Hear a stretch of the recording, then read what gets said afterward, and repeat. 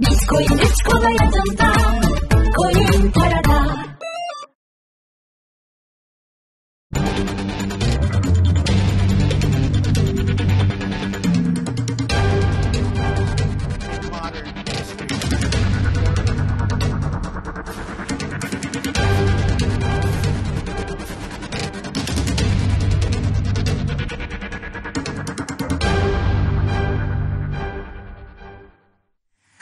Saatlerimiz 14.30'u gösteriyor. Güne bakışla karşınızdayız. Önce her zaman olduğu gibi ekonomi bölümünü konuşacağız. Ekonomi tarafına konuşacağımız e, mevzuların içerisinde en önemli olan fiyatlama dolar TL'de e, bu aralar gözümüze çarpıyor. 8.43'ler seviyesindeyiz hemen hemen e, geldiğimiz nokta itibariyle. Altın fiyatlarındaki yükselme 1900'lere doğru bir çıkmaydı. Orada bir soluklanma var. Hafif bir geri çekilmeyi gördük.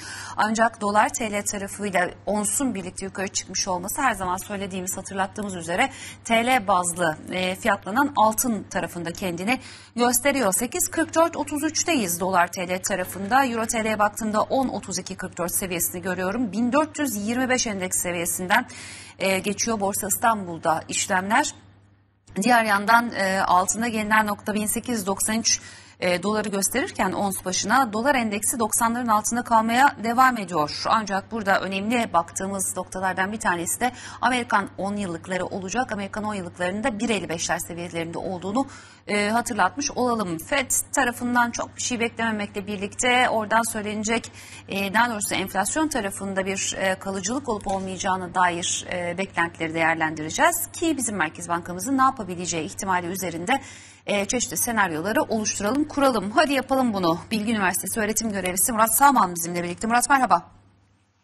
Merhaba Mine iyi yayınlar. Teşekkür Merhabalar. ediyorum. Ee, şimdi biraz merkez bankaları, merkez bankalarının tavırları, e, enflasyonda kalıcı olunması durumunda atılacak e, gelişmekte olan gelişmiş ülkelerin adımlarının gelişmekte olan ülkelerde nasıl yansıyacağı tarafını konuşarak başlayalım. Evet e, ilk önce e, Beşiktaş'ın şampiyonluğunu kutlamak istiyorum.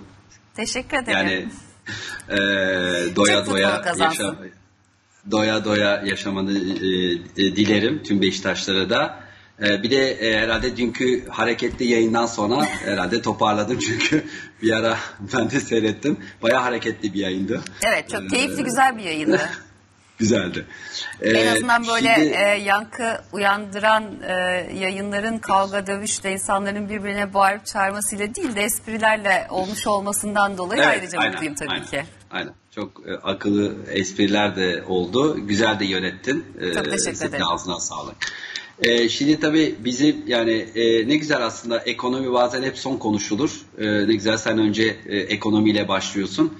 E, çünkü aslında e, ana konu şu anda ekonomi özellikle bu pandemi e, döneminde. Önce sağlık, ondan sonra da ekonomi. Yani herhalde bir, bir buçuk yıldır merkez bankaları ne gerekiyorsa yaptılar. Yani bizimki dahil. E, işte yani 2020 şöyle bir baktım. E, 2020 e, Mart ayında yine 4 trilyon dolarında yaklaşık Merkez Bankası'nın bilançosu ABD'de. Şimdi 7'in üzerine gelmiş. Bazı hesaplamalara göre 2023'te de bu e, işte 9 trilyon dolara kadar e, gidebilir. E, Avrupa Merkez Bankası aynı şekilde, e, Japon Merkez Bankası aynı şekilde. Yani merkez bankaları çok ciddi bir genişlemeye gittiler. E, pandemi dolayısıyla e, bu yapıldı. Fakat e, herhalde yani beklentiler yani ben hepsini takip etmeye çalışıyorum, okumaya çalışıyorum. Hani pandemi herhalde son çeyrekten sonra e, inşallah yavaş yavaş e, aşılanma süreciyle birlikte yavaş yavaş hayatımızdan çıkacak gibi gözüküyor. Yani en azından bu aşılanma sürecinde birlikte zaten e, biliyorsun e, Amerika'da e, bayağı ilerlemiş durumda. Yani artık e, normal hayata dönüş başlamış. Avrupa'da bazı şehirlerde başlamış. İngiltere'de öyle. E, bizde de ciddi bir aşılanma bekleniyor yaz aylarında. Yani şunu demek e, lazım. Hani bir ertelenmiş talep vardı. O ertelenmiş talep de devreye girecek. Zaten yavaş yavaş başladı. İşte Amerika'da açıklanan 4.2 enflasyon yıllık son 13 yılın en yükseği. Binde 8 aylık. Şimdi bu devam ettiği sürece e, ki sen e, girişte de söyledin. E, FED'den beklenen daha önce şahin bir duruş yani bizim için negatif olan bir duruş gelebilir. Onu söyleyeyim şimdiden. Çünkü enflasyon beklenenden daha hızlı gelmeye başladı.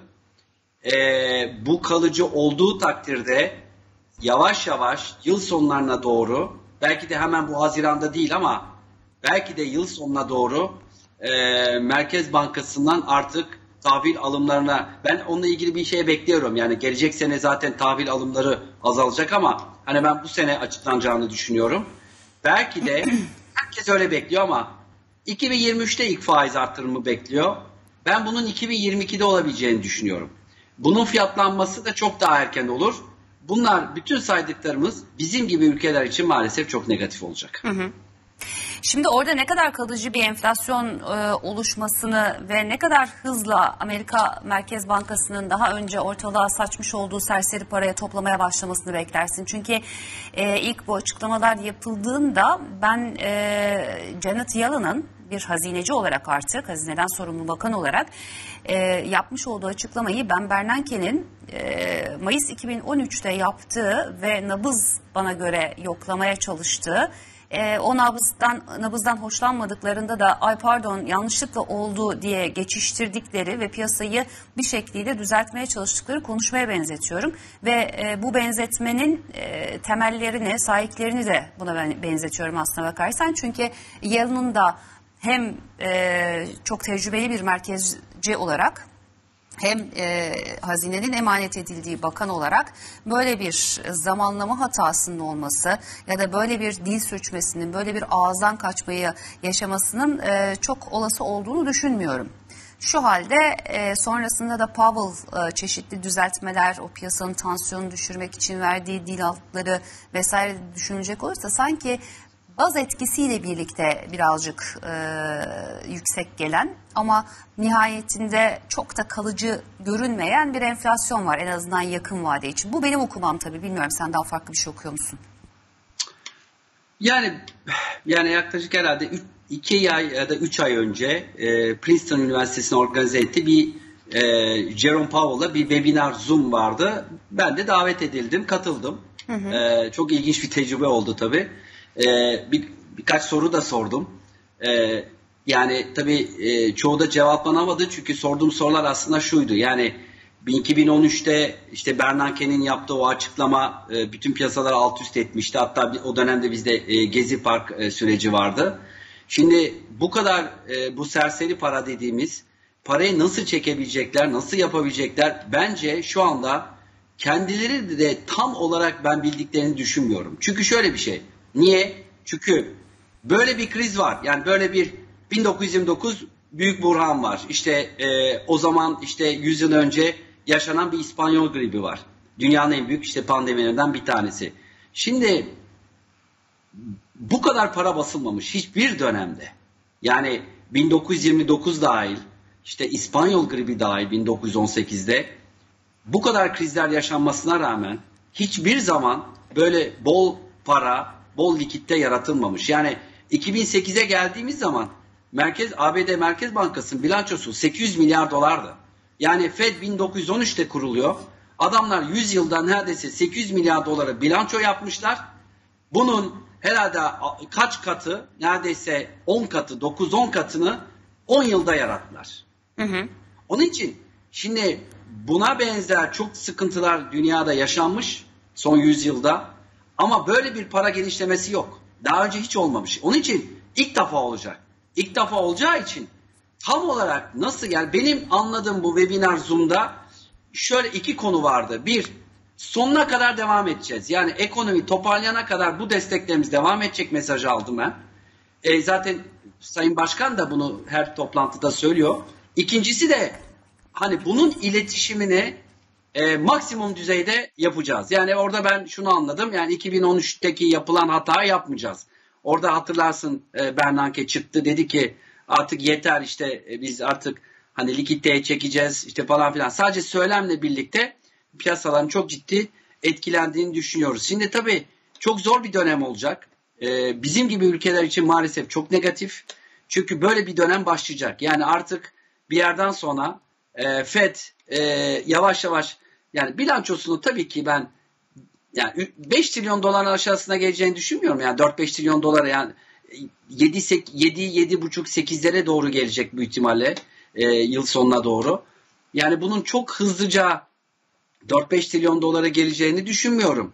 Ki biliyorsun pandemi öncesi hani 4.2'ye ulaşmıştı. işte 3.7, 3.8'e gelmişti. Bu yavaş olacak yani çok hızlı olmayacaktır.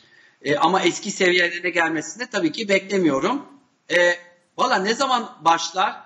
Sen de yayının başında söyledin çok güzel. Enflasyon ne zaman kalıcı olduğunu anlarsak FED e, harekete geçer diye düşünüyorum. Şimdi hazine tarafına biraz da bakalım. Ee, hazine ve Maliye Bakanlığı çarşamba günü Euro cinsinden bir sahil ve sukuk e, ihracı gerçekleştirdi. Toplamda baktığımızda 39 milyar liralık bir iç borçlanmanın gerçekleştiğini görüyoruz. 39 milyar çok aslında hedeflenen e, ya da istenen kadar bir e, borçlanma miktarsal olarak e, değil. Mayıs ayına ilişkin programda hedefinde 44 milyar olarak belirlendiğini e, hatırlatmış olalım. Dolayısıyla hedeflenenin altında e, kalınmış durumda. 1.6 milyar dolar erime e, olarak bunun Merkez Bankası rezervine tekrar eksi olarak yansıyacağı öngörülüyor. Zaten yanılmıyorsam kabaca diyeyim 60 milyar dolar civarında eksi bir rezervimiz var Merkez Bankası tarafında işte 62 milyar olmak üzere e, gibi e, anlıyorum buradan. Neden böyle bir e, genelde çünkü borçlanma tarafında e, piyasa tabiriyle borçların rol edilmesi anlamında çok da e, sorun yaşayan bir ülke değildi Türkiye.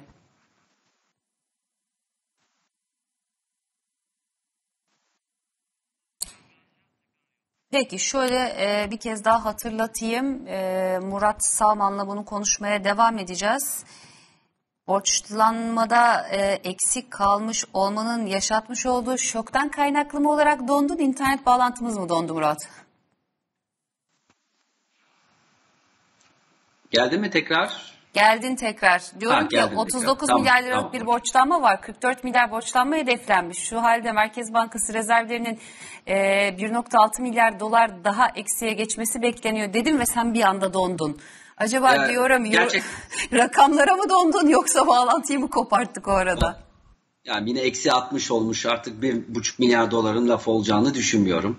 Ee, yani e, bütçe anlamında son verilere baktığım zaman hani e, bütçe tarafında yani son bir iki ay e, biraz rakamlar biraz düzeldi. İşte biliyorsun yeni vergiler e, geldi. İşte pandemideki destekler daha çok biliyorsun işsizlik e, fonundan e, karşılandı. Yani benim benim şu anda yani bir miktar daha tabii ki bir süre daha rol edecek e, hem hazine hem de e, şirketlerimiz ama hani benim buradaki endişem tabii ki biraz önce söylediğim gibi hani yurt dışında e, olabilecek herhangi bir bozulma. Zaten bütün çıkan raporlarda ki hepsini okumaya çalışıyorum. Yani Türkiye bütün kırılganlık kırılgan ülkelerin listesinde var. Yani Eksi rezervi biraz önce söyledin. Yani kırılganlıklarımızın en büyük sebeplerden biri Merkez Bankası'nın e, eksi rezervde olması yani kendi artık rezervini e, kendi para birimini koruyamayacak olması faizlerin zaten çok yüksek olması yani 19'larda olması artık yükseltecek çok fazla marjın da e, kalmaması e, aynı zamanda da tabii siyasetle ilgili e, gelişmeler de e, bizi daha da e, kırılgan hale getirebilir. Şimdi orada e, faizleri yükseltmek üzere marjın kalmaması mı yoksa yükseltme niyetinin e, ortaya konmaması mı? Yani, yani şimdi şu, şu anda marjımız yok ama şöyle tabii e, niyet de yok tabii ki. E, buradaki büyük risk tabii e, Merkez Bankası açısından e, enflasyonun 19 ve üzerine gitmesi. Yani burada başka bir kırılganlık yaratacak. Çünkü e, Sayın e, Başkan'ın Kavcıoğlu'nun, Sayın Kavcıoğlu'nun e, iki keredir açıklaması var. Yani biz e, enflasyon üzerinde bir faizle devam edeceğiz diye. E, şimdi bu enflasyon ki gideceğini düşünüyorum. Yani bugün üretici fiyatları yüzde 35 olmuş. Ee, yani e, tüketici fiyatları 17 olmuş. Sen de çok bilirsin. Yani bilirsin bu kadar marj açıldığında zaman e, bir yerden sonra tüfeğe bu yansıyacak. Zaten yansımaya da başladı. Çok Burada aslında biz e, bundan sonraki süreçte Merkez Bankası'nın alacağı tavrın haricinde az önce senin de hatırlattığın üzere maliyet enflasyonundan kaynaklanan ve maliyet enflasyonun e, tüfe tarafına yansımasıyla birlikte bir tüketici enflasyonu haline dönüşmesini de izleyeceğiz. Aslında şu anda faiz artırarak e, herhalde marj arttırmaya yer yok derken biraz da onu kastediyorsun. Onu biraz daha hani teknikten Evet. çıkartıp açalım istiyorum ben de. Yani ortada bir maliyet enflasyonu var ve biz bundan bahsediyorsak faizlerin artırılması yöntemiyle enflasyon baskılanması e, bir talep enflasyonunun olduğu ortam kadar elbette kolay olmayacaktır. Dolayısıyla bizim öncelikli olarak döviz tarafını baskılamamız, maliyetleri aşağıya çekebilmemiz ee, ve ondan sonra bunun e, o yani üfe tüfe arasındaki marjın kapanmasını sağlamamız sonrasında belki bir faiz artırımıyla birlikte talebi kesmek e, gibi bir silsile izlememiz lazım. Yani e, şimdi aslında yani kuru kurun yükselmesine karşı faiz arttırımından başka elimizde ne var? Ona bakmak lazım. Yani e, çok fazla enstrümanımız yok. Yani şimdi Merkez Bankası'nın e, ben hep şunu söylerim. E, bunu Twitter'da da e, bir, bir iki kere paylaştım herhalde. Elinde dört tane enstrümanı var Merkez Bankası'nın gerçek anlam. Bir, bir kere e, kredibilitesi. Yani Merkez Bankası'nı güvenmen gerekiyor. Ki e, son iki yılda dördüncü Merkez Bankası Başkanı e, burada o kredibilite inşası da çok ciddi zaman alıyor. İkincisi Merkez Bankası'nın bağımsız olması. Ya bugünkü ortamda e, Türkiye Cumhuriyet Merkez Bankası'nın bağımsız olduğunu söyleyemeyiz son görev değişikliklerinden sonra. O zaman bu iki enstrüman gitti şu anda mevcut durumda. Üçüncüsü rezerv. E Ki şimdi rezerv- ilk iki saydığın e, yapılabilecek, kullanılabilecek enstrüman herhangi bir e, mali durum ortaya koymayacağı yani kasadan Tabii, para tabii. çıkartmayacağı ya Tabii. da e, işte piyasayı sıkmayacağı, kasmayacağı için en kolay kullanılabilen ama en zor e, elde edilen enstrümanlar onun da altını bir çizmek isterim. Yüzde yüz katılıyorum. Artı Naci Bey zaten Naci Abal döneminde bu başlamıştı zaten. Yani dört buçuk aylık süreçte o bahsettiğim özellikle kredibilite yani e, benim işte konuştuğum, çalıştığım e, bir sürü e, şirket, e, yabancı kurumlar gerçekten bir güven inşası başlamıştı. Yani Naci Bey'in söylemleri, e, Naci Bey'in yaptıkları e, yani ama tabii o Mart değişikliğinden sonra o maddelerin hem bağımsızlık hem kredibilite, kredibilite konuların e, çok gerilediğini görüyoruz. Şimdi elimizde rezerv işte rezerv var. Rezerv de e, kalmadığına göre, eksi de olduğumuza göre e, yine elimizde sadece faiz var. Yani e, başka fazla bir hani diğer tabii e, yapısal e, e, Mafi hocamızın da kulaklarını çınlatalım yani bu yapısal reformlar işte hukuk, adalet, ekonomi ya bunlar yapılmadıkça güven arttırıcı yapısal reformlar arttırma, yapılmadıkça da elimizde kısa vadede faizden başka da bir enstrümanımız yok şu anda. Ee, bugün Merkez Bankası'nın e, rakamları açıkladığı gün, istatistikleri açıkladığı gün döviz mevduatı gerçek işlerde 392 milyon dolarlık bir artış kaydetmiş. Tüzellerde ise 177 milyon dolarlık bir azalma e, söz konusuymuş. Yurt içi yerleşiklerin döviz mevduatı 216 milyon dolarlık bir artış kaydederek 227.7 milyar dolara yükselmiş.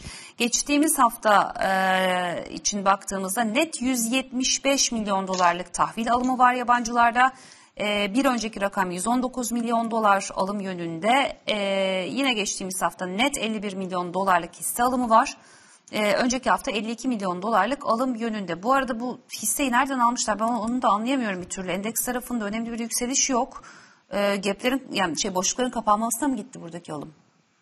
Yani şöyle e, biliyor e, yani Naci Bey döneminde e, hem hisse senedine e, hem de tahvile e, yaklaşık bir 10 milyar dolar para girmişti. Şimdi biliyorsun Naci Bey'in görevden alındığı hafta yaklaşık bunun yarısından fazlası çıktı. Evet. Yani Ya 5 hafta demeyelim de ilk iki günde çıktı hatta yani Evet, haftayı hatta, bulmamıştır evet. da biz haftalık istatistikte gördük onu. Aynen. Devre kesicilerin e, yani iki ya da üç kere üst üste devre kesici İşte kullanıldı Borsa İstanbul tarafında. Aynen. Yani e, çok e, yani zor bir iki gün e, geçirdik. E, ve e, o paranın işte o yarısı çıktı. İşte kalan yarısı hani bir miktar e, uzun vadede artık e, çünkü Türkiye pozisyonları Mine sen de görüyorsundur yani çok azaldı artık. Yani şimdi MSCI'deki oranımız çok düştü. Yani e, Kaç civarındayız biliyor musun? Sanıyorum yani binde 1400 üç. Binde üç galiba. Binde üçe indik. Ben de binde 4 gibi hatırlıyordum. Sen daha iyisini biliyorsundur. Daha yakın Ya- takip ediyorsun. Ya ya binde üçe indik yani o çok çok az bir hani e, hani bu e, e, kurumlarda fonlarda çalışmış biri olarak gerçekten hani bakılmayacak pozisyonlar. Ben o pozisyonların kalan pozisyonların yabancıların baktığını da düşünmüyorum. Yani bakmasın. Onlar Çünkü muhtemelen portföy- unutulmuş pozisyondur. Hani böyle Aynen. yıl sonunda bizim e, hazinede açıklar ya işte şu kadar lira mevduat unutuldu. İşte küsurat unutuldu Evet, vesaire aynen. diye O kadar değil. O kadar değil. Yine bir Espri, katlama- egzajere ederek söylüyorum tabii ki ama sonuçta Ama yani ya. bakmaya gerek duymayacağı ya da burada Yok. zarar mı yazdı, kar mı yazdığı gözetmeyeceği muhtemelen de sağlam kağıtlarda e, olan portföylerden bahsediyoruz. Hani 10 yıl sonra gelir bakarım tekrar der ona bir şey diyemem. Ya şöyle tabii yani binde 3, binde 5 pozisyon varsa buna bakmanın çok bir e, anlamı yok. Bir de özellikle Naci Bey'den sonra tabii e, yabancılar özellikle büyük fonlar bazı fonlar çok ciddi para kaybettiler. Yani şöyle söyleyeyim bir gecede yüzde 30 ile 40 e, ben e, Londra'da işten atılan biliyorum. Yani sadece bu Türkiye Naci Bey'in göre niye? Çünkü yüzde 40 yüzde 25-30 biliyorsun faizler yükseldi yüzde 15'ten 19'a. Aynı zamanda da e, TL %10 e, değer kaybetti. Onun için hani yaban artık o yabancılar, o çıkmak isteyen yabancıların acil e, çıkıştan, acil kapıdan çıktılar. Acil çıkıştan çıktılar. Şu anda senin işte dediğin biraz önce verdiğin rakamlarda işte bol para var dünyada. Yani biraz önce ne bahsettik? O kadar çok para var ki dünyada, o kadar çok para basıldı ki. E Türkiye baktığın zaman dünyada en yüksek faizlerinden bir tanesi. Yani gerçekten çok ciddi fırsat var. İkincisi de dünyanın en ucuz borsa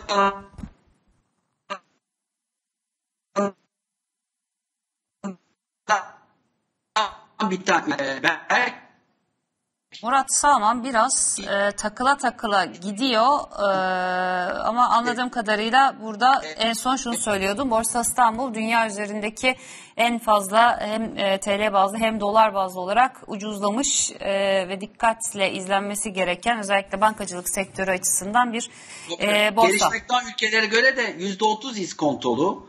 Ee, yani kendi şeyine göre, kendi e, de, e, ekip değerlendirmesine göre. E, onun için artık hani e, o kadar düşük yerlerde ki yani birkaç fon, birkaç e, yabancı yatırımcı da burada son iki haftada sen de biraz önce söyledin biraz giriş yaptığını görüyoruz. Peki Murat çok teşekkür ediyorum. Kolaylıklar diliyorum sana. Önce sağlıklı sonra bol kazançlı e, bir gün olsun, hafta olsun ve bundan sonrası e, olsun diyerek sana veda edeyim. Döneyim hemen Ankara'ya. Ankara'da bir karar var. Sedat Peker hakkında bir yakalama kararı e, çıkartılmış durumda. Nedir ayrıntısı? Ertuğrul Tunç'a soracağız. Ertuğrul. Aslında iddiaları günlerdir zaten gündemdeydi peş peşe yayınladığı videolarla birlikte ve de bu konuda da zaten harekete geçilmişti. Önce onu hatırlatalım ve Sedat Peker hakkında ilk başta organize suç örgütü yöneticisi olmak suçlamasıyla bir e, soruşturma başlatılmıştı. Hemen ardından da bugün Ankara 2. Sulh Ceza Hakimliği kritik bir karara imza attı ve de Peker hakkında bir yakalama emri düzenlendi. İşte Sedat Peker'in yurt dışında olduğunu biliyoruz. Artık onun yakalanması için bir talimat da verildi. Yargı tarafından onu da belirtebiliriz. Peki neler olmuştu? Birazcık da geçmişine bakacak olursak aslında söylemiştik.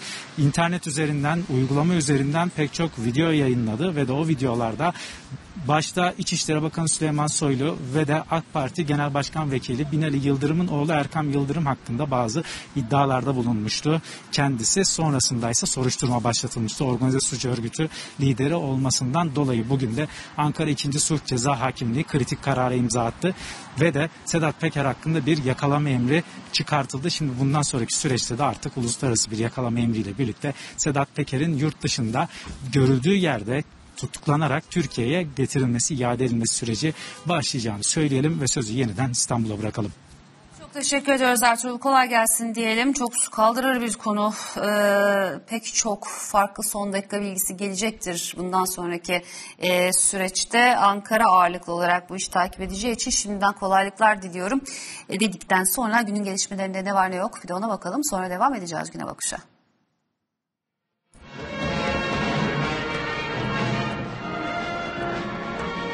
Bunlar neden kaçıyor Mülayim abi?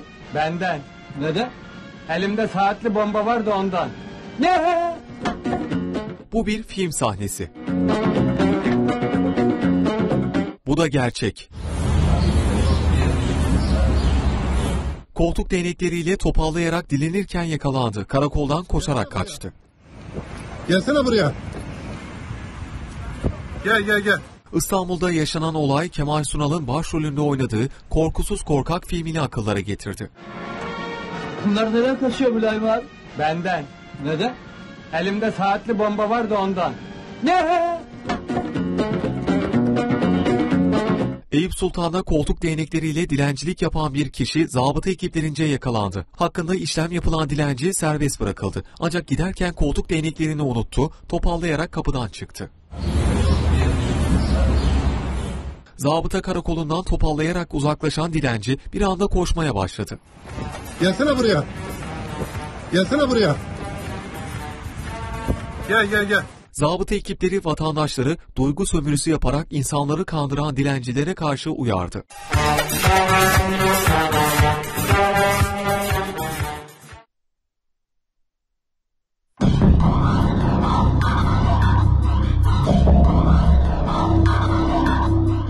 Gaza son sürat bastı, karakola daldı. Bununla da kalmadı, polise tehditler savurdu. Görüntülerin adresi Amerika Birleşik Devletleri. Maryland eyaletinde polisi telefonla arayıp hakarette bulunan genç adam birkaç saat sonra aracını karakola sürdü. Öfkeli adam iki memuru ezmeye çalıştı, ekip otolarını biçti, camları kırıp karakola daldı. Gözaltına alınan 24 yaşındaki şüphelinin cinayete teşebbüs suçundan yargılanacağı açıklandı.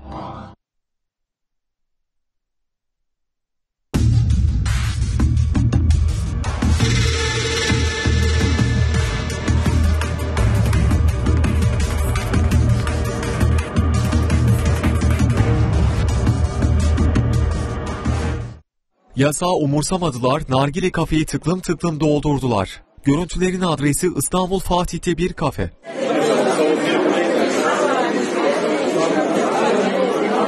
Koronavirüs kısıtlamaları kapsamında kafeler sadece gel al veya paket servis verebiliyordu. Ancak Fatih'teki kafe sokak kısıtlaması saatinde tıklım tıklım doluydu. Kafedeki müşteriler maskesiz ve mesafesizdi. Yasak olmasına rağmen kapalı alanda da nargile içiliyordu. Polisler ihbar üzerine harekete geçti. Kafeye baskın düzenledi. Kafede bulunan 44 kişiye toplam 138.600 lira para cezası kesildi. Kafe sahibine ise sigortasız işçi çalıştırmaktan ve tedbirlere uymamaktan cezai işlem uygulandı.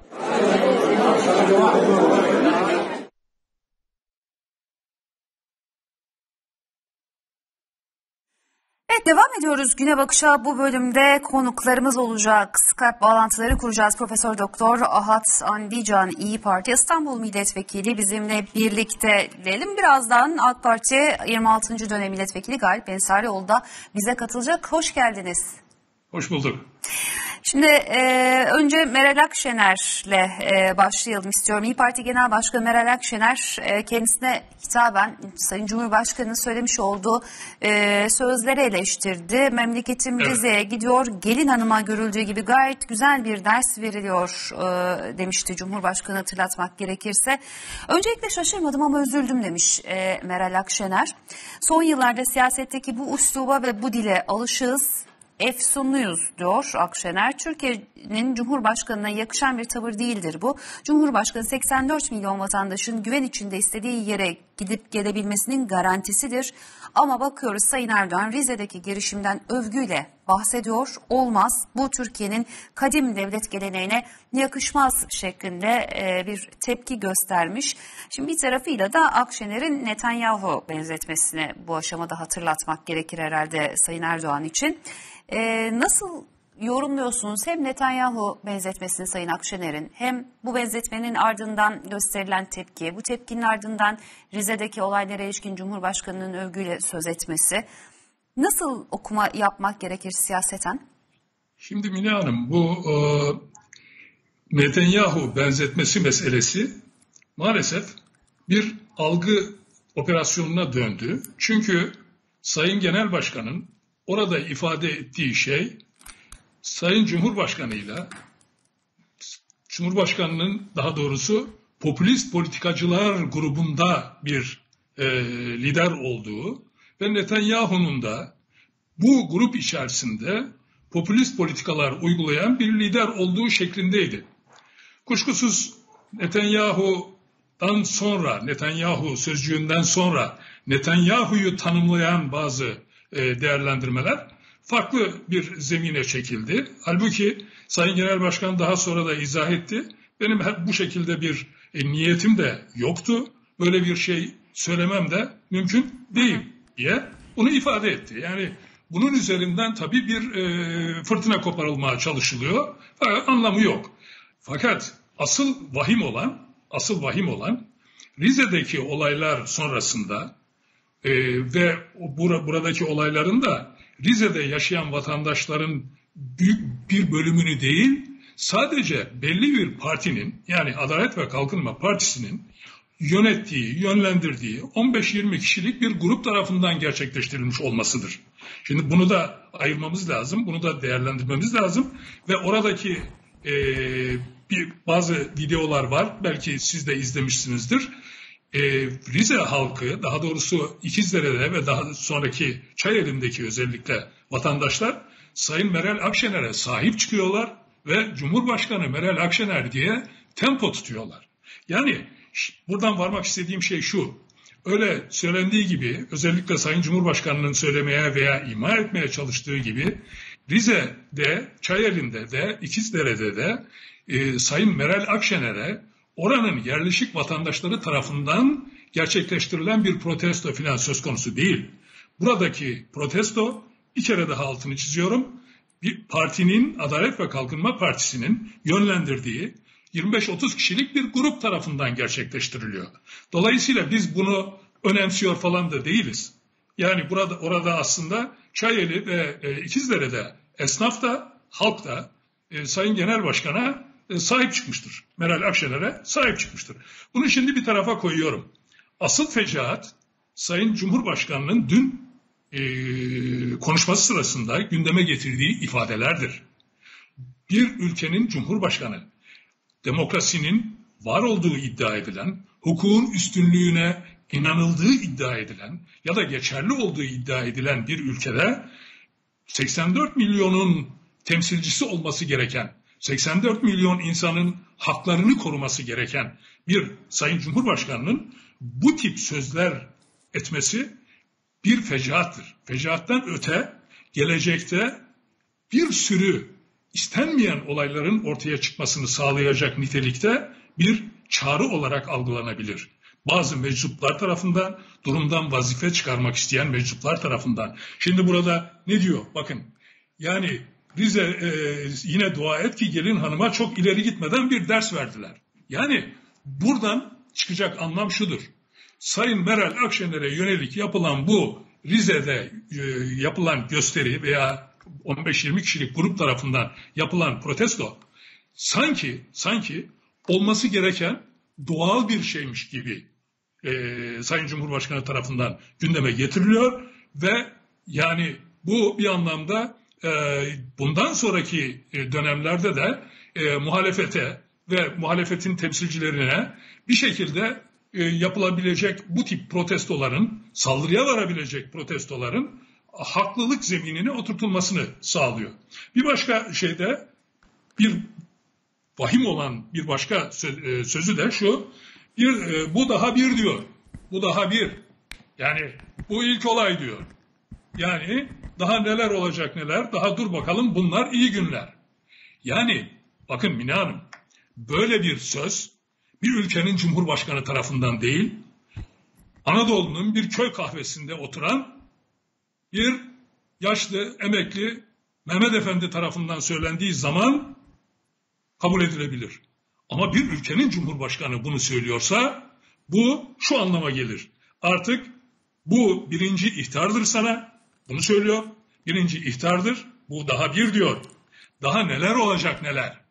Peki ben şimdi soruyorum buradan Sayın Cumhurbaşkanı'na. Neler olacak? Neler olacak? Bunlar iyi günler. Peki kötü günlerde ne olacak? Ben şimdi bu soruyu soruyorum. Yani bunun cevabı, bunun cevabı Sayın Meral Akşener'in ya da muhalefet liderlerinin Anadolu'da çeşitli yerlere gittiklerinde veya ülke gezilerinde gittiklerinde onlara karşı daha başka gösterilerin, saldırıya, saldırıya varan protestoların yapılmasına davetiye çıkarmaktan başka bir şey değildir. Bunlar iyi günlermiş. Kötü günlerde ne olacak Sayın Cumhurbaşkanı? Buna bir cevap verin. Şimdi bir din öğretmeni gördük orada. Belki onu da bir tartışmak gerekir. Ee, yani ne öğretmeni olduğunun bir önemi yok. Çocuk yetiştiren biri olmasının bana göre önemi var. Ee, elinde bir e, silah ve Silahla, evet, e, evet. bu kadar silahsızlanmayı e, teşvik ettiğimiz silah, yani Türkiye'de öyle çok ciddi bir silahlanma problemi falan yok ama e, yine de neden insanlarda silah olsun? Silah iyi bir şey değil yani bizim en güçlü silahımız bu. Biz kalemle İnan- savaşırız. inanın- Dolayısıyla böyle olmalıdır e, savunan biri olarak bir öğretmenin elinde bir e, Kalaşnikov görmek beni gerçekten korkuttu. bu Sayın Cumhurbaşkanı'nın bu ifadeleri bir anlamda yani bir şekilde Sayın Cumhurbaşkanı'na yönelik bir eleştiride bulursanız, bulunursanız yani iktidara karşı bir eleştiride bulunursanız sizin muhalefete yönelik yapacağınız azgın davranışlara, saldırılara, protestolara haklılık zemini sağlayan bir yaklaşımdır. Bu durumdan İşte vazife çıkartmıştır herhalde. Ben- Sayın Cumhurbaşkanı'nın da böyle bir şeyi onaylayabileceğini e, düşünmek istemiyorum, düşünmüyorum da. Hayır, hayır, onu, onu hiçbirimiz düşünmek istemiyoruz. Zaten Sayın Meral Akşener de ifadesinde onu söylüyor. Yani demokratik bir ülkede herkesin hakkını savunması gereken ve muhalefetin özellikle muhalefetin özellikle Anadolu'da veya e, İstanbul'da neyse yani Türkiye'de gideceği en ücra köşede bile herhangi bir şeyle karşı karşıya kalmamasını sağlamak görevi olan yürütmenin başını başı olan Cumhurbaşkanı'nın bu ifadelerini hiçbir şekilde ne normal kabul etmek ne de bunları düşünmeden arkasından gelecek sonuçları fark etmeden söylemiş olarak kabul etmek mümkün değildir. Yani siz şu, basit bir şey söyleyeceğim. Bugün Sayın Cumhurbaşkanı'nın meşruiyetini sağlayan şey nedir biliyor musunuz? Demokratik ülkelerde muhalefet varsa, özgürce muhalif muhalefet yapabiliyorsa o zaman iktidar meşrudur. Eğer muhalefet yoksa, eğer muhalefet baskı altına alınmışsa, eğer muhalefet korkutuluyorsa, eğer muhalefet bir şekilde muhalefetini yapamayacak noktaya getiriliyorsa o zaman o iktidar meşru olmaz. O cumhurbaşkanı meşru olmaz. Yani Sayın Cumhurbaşkanı bunu bile bilemeyecek kadar bu meseleden uzak görünüyor. Ve bir şeyi daha ekleyeyim izin verirseniz. Buyurun. Yani Sayın Cumhurbaşkanı hiç zannetmesin ki Sayın Meral Akşener ya da İyi Parti bu söylenen şeylerden etkilenecek. Sayın Meral Akşener 1990 daha doğrusu e, hatırlayın şeyde 12 Eylül e, olayı gerçekleştiğinde ve daha sonraki dönemlerde ve 28 Şubat özellikle 28 Şubat'ta İçişleri Bakanı e, olduğu dönem.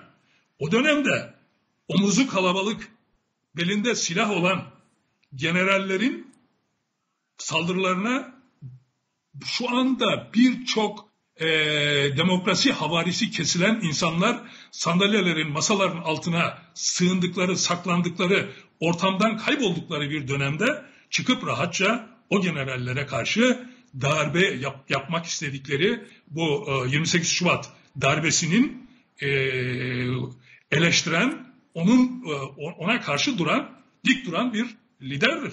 Yani daha sonraki dönemlerde e, çeşitli e, dönemlerde özellikle e, bu e, anayasa değişiklikleri meselesi olduğunda, başkanlık sistemi meselesi olduğunda Anadolu, Anadolu'da köy köy, kasaba kasaba dolaşarak buna karşı olduğunu gösterebilen o, o dönemde herhangi bir parti e, e, üyesi de değil yani milletvekili e, de zannediyorum milletvekili olduğu bir dönem var ama milletvekili olmadığı dönemde de buna karşı çıkabilmiş bir lider.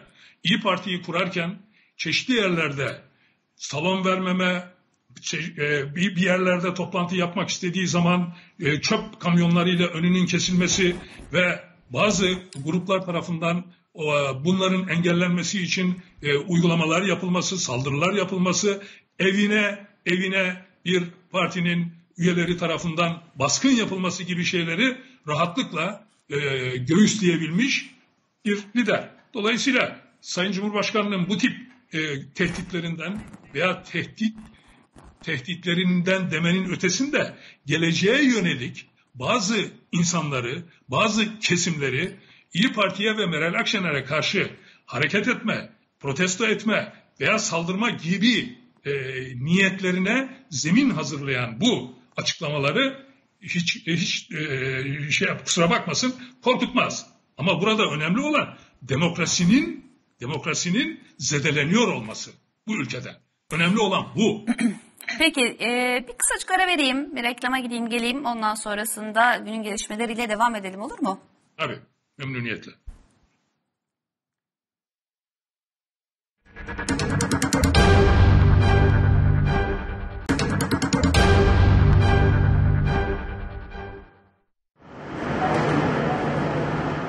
BioNTech aşısı geliştirildi. Saklama koşulları değişti. Daha önce eksi 80 derece olan muhafaza sıcaklığı 2 ila 8 derece olacak şekilde iyileştirildi. Aşılar 5 gün yerine 1 ay saklanabilecek seviyeye getirildi.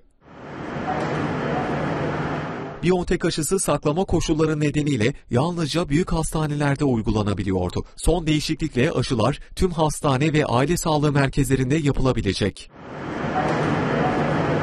Bu sayede aşılama hızı da artacak. Toplumsal bağışıklamada hedeflenen %70 oranı kısa sürede tamamlanabilecek.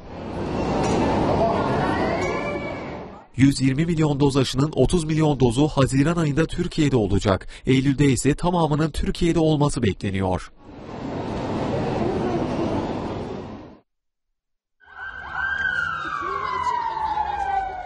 Pandemi eğitimi derinden etkiledi. Uzaktan eğitime geçildi. Öğrenciler okullarından uzak kaldı. Ancak aşılamanın hızlanmasıyla eğitimde normalleşme sinyalleri gelmeye başladı. Mehmet Akif Ersoy'a ait bir şiirin ve şehitlerle ilgili bir Milli Eğitim Bakanı Ziya Selçuk eğitimde yaşanan aksaklıkları gidermek için Haziran'da telafi eğitimlerinin başlayacağını duyurdu. Peki bu eğitimler nasıl olacak? Çocuklarımız geçen hafta Ağırlıklı olarak ortaokul ve lise öğrencileri için telafi eğitimi yapılacak.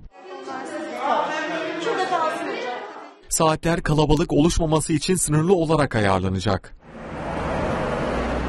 Telafi eğitimi zorunlu olmayacak, isteğe bağlı yapılacak.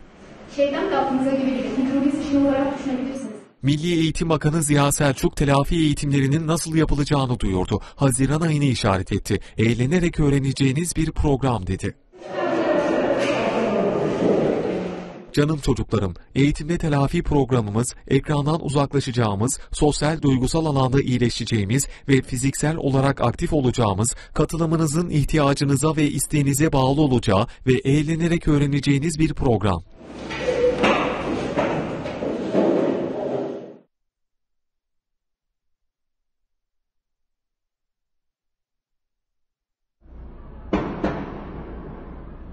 Silahlar patladı.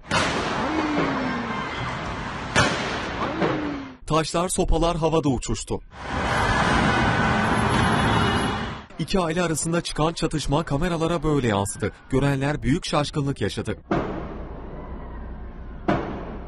İstanbul Şişli Feriköy'de alacak verecek meselesi olan iki aile arasında kavga çıktı. Kavganın büyümesi üzerine taraflar birbirlerine taş ve sopalarla saldırdı. Aralarında kadın ve çocuklar da vardı. Kısa süre sonra silahlarına davranan taraflar pompalı tüfekle birbirlerine kurşun yağdırdı. O anlardan biri kameralara an be an yansıdı. Bir kişi karşı tarafa üst üste ateş açtı. Engel olmaya çalışanların çabası da fayda etmedi. Sokak adeta savaş alanına döndü. Olay polisin devreye girmesiyle sona erdi. Kavgaya karışanların çoğu gözaltına alındı. Her iki aileden de yaralanan dört kişi hastaneye kaldırıldı. Olayda kullanılan 3 pompalı tüfekse polis ekipleri tarafından ele geçirildi.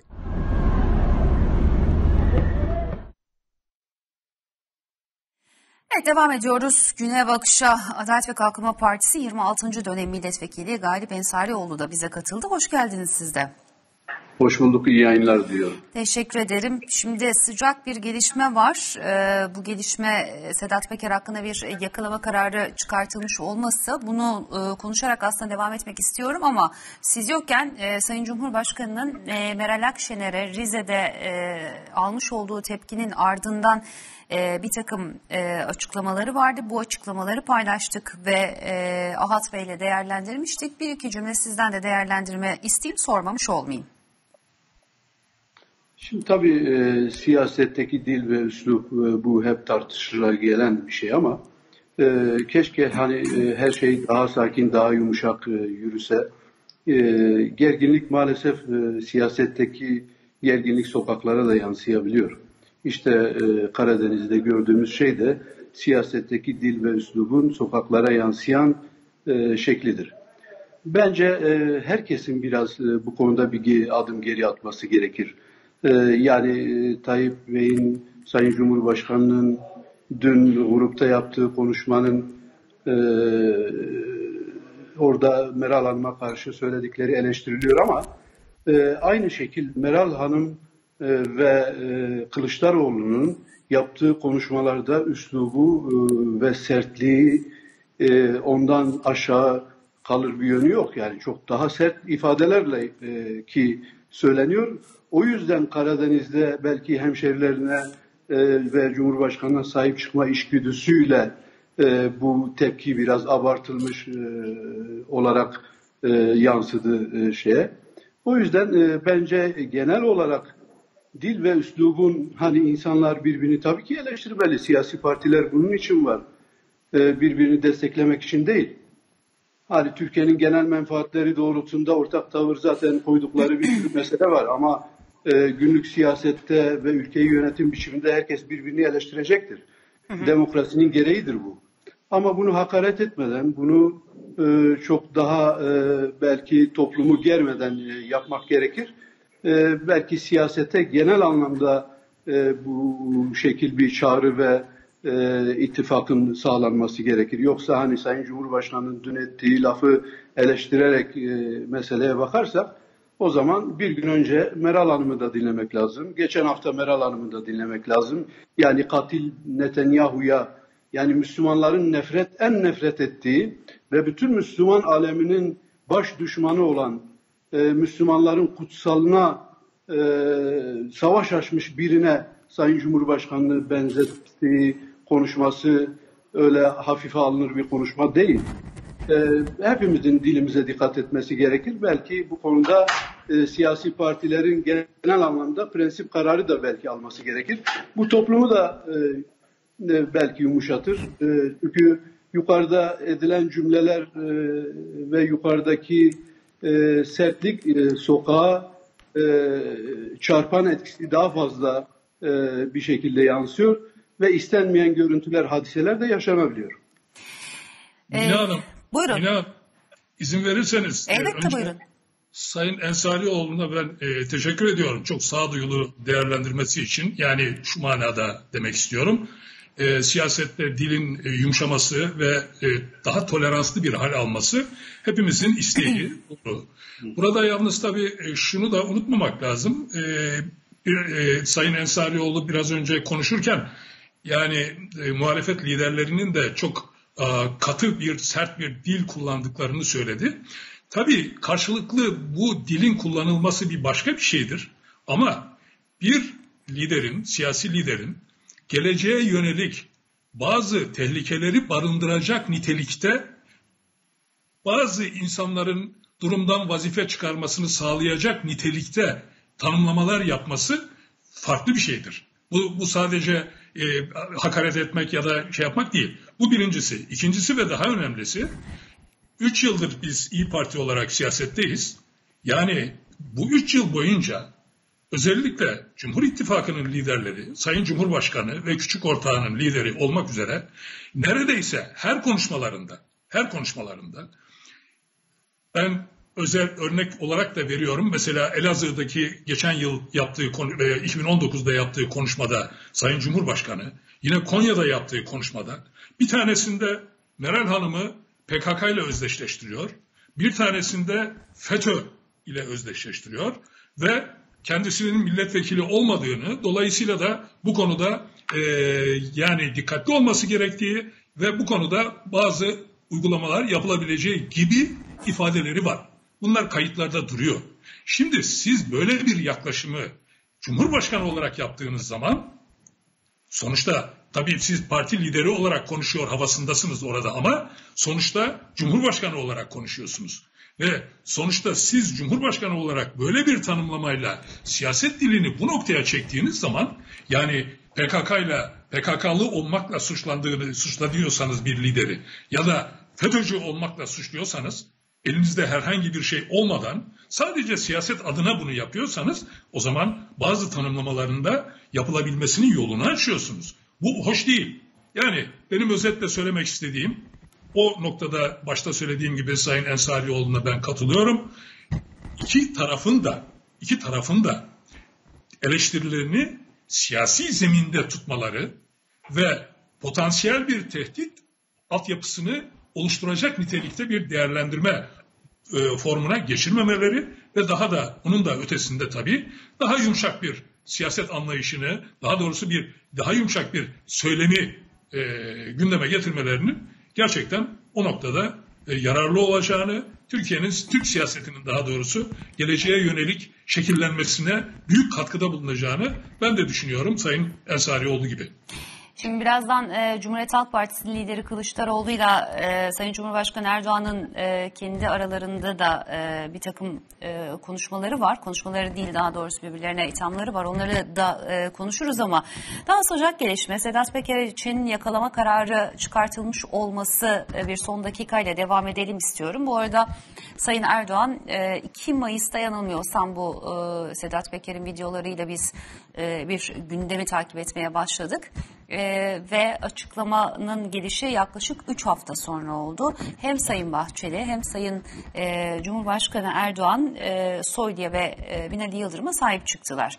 Ne, bu gecikmeyi neye bağlarsınız Galip Bey? Önce size sorayım çünkü 3 hafta gibi bir süre var. O 3 hafta boyunca e, Türkiye'de işte herhalde 8-10 yaşından e, büyük herkesin konuştuğu konu buydu. 3 hafta sonrası İçişleri Bakanımızın yanındayız dedi. Binali Yıldırım'ın da oğlu üzerine hedef alındığını ifade edip şimdiye kadar nasıl şahsımız, partimiz ve çalışma arkadaşlarımız üzerinden ülkemize yönelik hiçbir saldırıya eyvallah demediysek bu tezgahı da Allah'ın izniyle bozacağız diye e, konuştu. Benzer şekilde Sayın Bahçeli'nin de bir sahip çıkma durumu söz konusu oldu ama yine belirtiyorum 3 hafta sonra. Neden?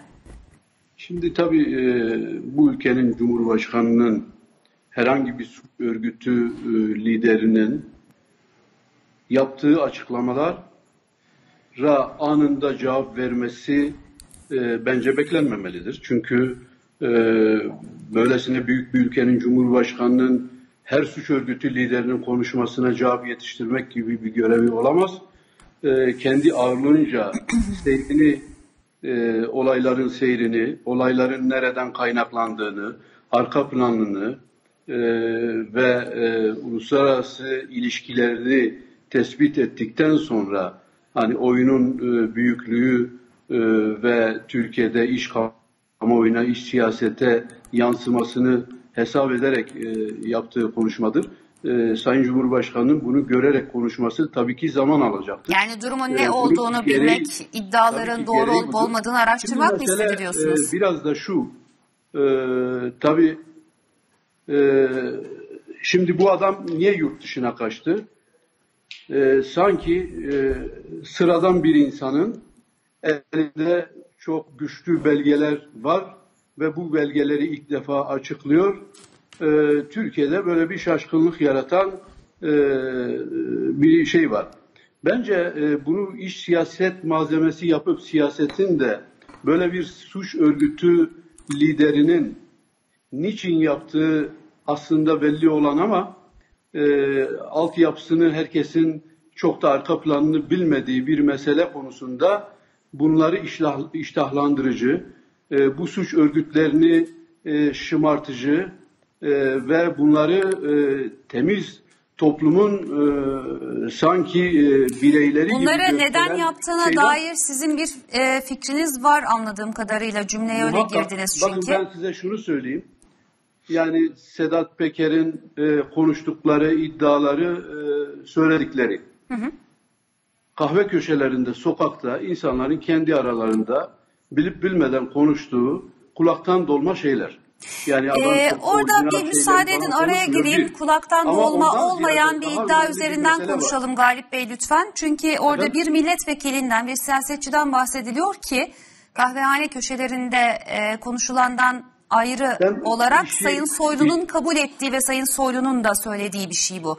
Ve Tamam. birinin e, bir siyasetçinin e, 10 bin dolar Sedat Peker'den maaş aldığına ilişkin Sayın İçişleri Bakanı söylüyorsa bunu ben bunu veri kabul ederim çok doğal olarak. Bu, bu veridir. dolayısıyla böyle bir siyasetçi Sayın var. Bakanı, Sayın İçişleri Bakanı'nın kendisi de müracaat ederek savcılığa bu konuda konuşmak istediğini e, söylemiştir. E, bu konunun soruşturması gerektiğini söylemiştir. Kimsenin bir şey gizlediği, sakladığı falan yok. Mesele ye ben farklı açıdan bakıyorum. Şimdi e, mafya dediğiniz şey aslında e, devletlerin himaye ettiği, devlet içinde destekçilerinin olduğu, işlediği suçların hesabının sorulmadığı bir organizasyon biçimidir. Eğer böyle olmazsa insanlar bir suç işler, gider cezasını çeker, ömrünün yarısını da belki hapiste geçirir. Bu e, büyük bir organizasyona dönüşmez hiçbir zaman. Dünyanın her yerinde bu tür organizasyonlar devlet desteği, devlet işinde destek bularak olur. Şimdi öz- e, meselenin biraz bu kısmına bakmak lazım. Yani başka başka şeyleri tartışıyoruz. İşte Korkut Eken'in e, şeyini tartışıyoruz. Kendi kardeşini işte gönderdiğini söylüyor Kıbrıs'a. Peki e, işleyemedikleri suçları söylüyorlar da acaba işledikleri suçlar var mı yok mu? Yapabildikleri var mı yok mu? Biraz da bunlardan bahsetsinler. İşte bahsediyor Hürriyet Şimdi- gazetesini ben bastırdım Bak- diyor. Metin e, şey e, Fey, Öyle. Bunlar bunlar çok Feyzi. İşbaşarı'nın Bakın, kemiklerini ben kırdırdım diyor. Avukat bunlar- gönderdim. bakın karakolda bunlar- yaptırdım bunu diyor. konuşulan şeyler karşısında e, çok basit kalan şeyler. Ben şimdi e, 90'lı yılların 80'li yılların sonlarına doğru ve 90'lı yıllarda derin devletin Gladio yapılanmasının, özel harp dairesinin e, bir takım operasyonlarda e, bir takım suç örgütü liderlerini kullanıp kullanılmadığı, Milli Güvenlik Kurulu kararlarında e, bu tür e, eylemlerin kararının alınıp alınmadığı ve o gün eğer siz bir takım suç örgütü, devlet dışı yapılanmaları kullanmışsanız o zaman devlet dışı yapılanmalar da devlet adına, devletin e, bu gizli, karanlık e, odakları adına bir takım suçlar işlediyse, cinayetler veyahut da farklı eylemleri yaptıysa, bu adam gider bir adam öldürür devlet adına, beş adam da kendi adına öldürür. Ondan sonra her türlü suçu da işler, bana dokunursanız yer yerinden oynar der. Şimdi eski şımarıklığı bu e, suç örgütleri eski desteği göremedikleri için bugün bunun hırçınlığıyla bunun intikamını almaya çalışıyorlar. Eğer dün olduğu gibi 90'lı yıllarda, 80'li yılların sonlarında devlet tarafından himayet edilmiş olsalardı, istedikleri şeyi yaparlardı, hiçbir hesap da sorulmazdı. Ama bugün ne zaman ki hesap sorulmaya başlandı ve bu şahıs hakkında da bir gizli soruşturmanın yürütüldüğünü devlet içinden haber aldığını söylüyor ve e, bu soruşturma tamamlanmadan yurt dışına kaçıyor. Sen suç işlemedinse yurt dışına niye kaçıyorsun? Bugün hesap sorulmasının intikamını kendince bu hükümetten almaya çalışıyor bu suç örgütü lideri. Şimdi e, yani bu Şimdi Sayın 90'lı yıllar- Ensarioğlu 90'lı yıllarla bir kıyas yaptınız. Dolayısıyla hani biraz günümüze de gelerek e, 90'lı toparlayalım istiyorum. E, Sedat da- Peker, Adalet ve Kalkınma Partisi ve Milliyetçi Hareket Partisi'nin e, düzenlediği mitingler, daha doğrusu kendisi e, iktidara destek vermek üzere bir miting düzenliyor. Bu mitingleri düzenlerken çok doğal olarak her miting düzenlemek isteyen insanı, insan gibi e, bir suç e, teşkil etmeyeceği e, vaadiyle valiliğe başvurması gerekiyor. Valilikten bunun için izin alıyor. Diğer taraftan Sayın Soylu bunu e, kendisi söylediği için yine veri olarak kabul ediyor ve söylüyorum. Biz verdik koruma kararını ben uzattım diyor. Ee, Bakın, dolayısıyla yani tes- 90'lı tehdidini yıllarda suç örgütü Bakın, lideri ya- olarak bilinen ama, ama- sonrasında bir şeyler yapamıyor değil. Bu iktidar döneminde de yine bir şeyler e, farklı farklı gitmiş. Bakın, Dolayısıyla ben oradaki değerlendirmenizi merak ederek soruyorum. Yoksa suç örgütü lazım. lideri olduğuna Şimdi- ilişkin hiçbirimizin kafasında bir şüphe yok. Tabii ki suç örgütü lideri. görülmek için miting düzenleyebilir. Bu tamamen kendi e, manevrasıdır. Şirin görünmek için. Ardından suç örgütü lideri olur veyahut da başkası olur. Bu ülkede bir terör örgütünün resmen tehdit ettiği, tehdit aldığı ve istihbaratın da bunu tespit ettiği e, durumlarda bu şahıslara gidilir. Siz tehdit alıyorsunuz, böyle bir istihbari bilgi var, koruma kararı, e, koruma ister misiniz? Siz koruma istemeyebilirsiniz veya iste, istediğinizi söylersiniz. Vilayette koruma kararı onaylanırsa size koruma tahsis edilir.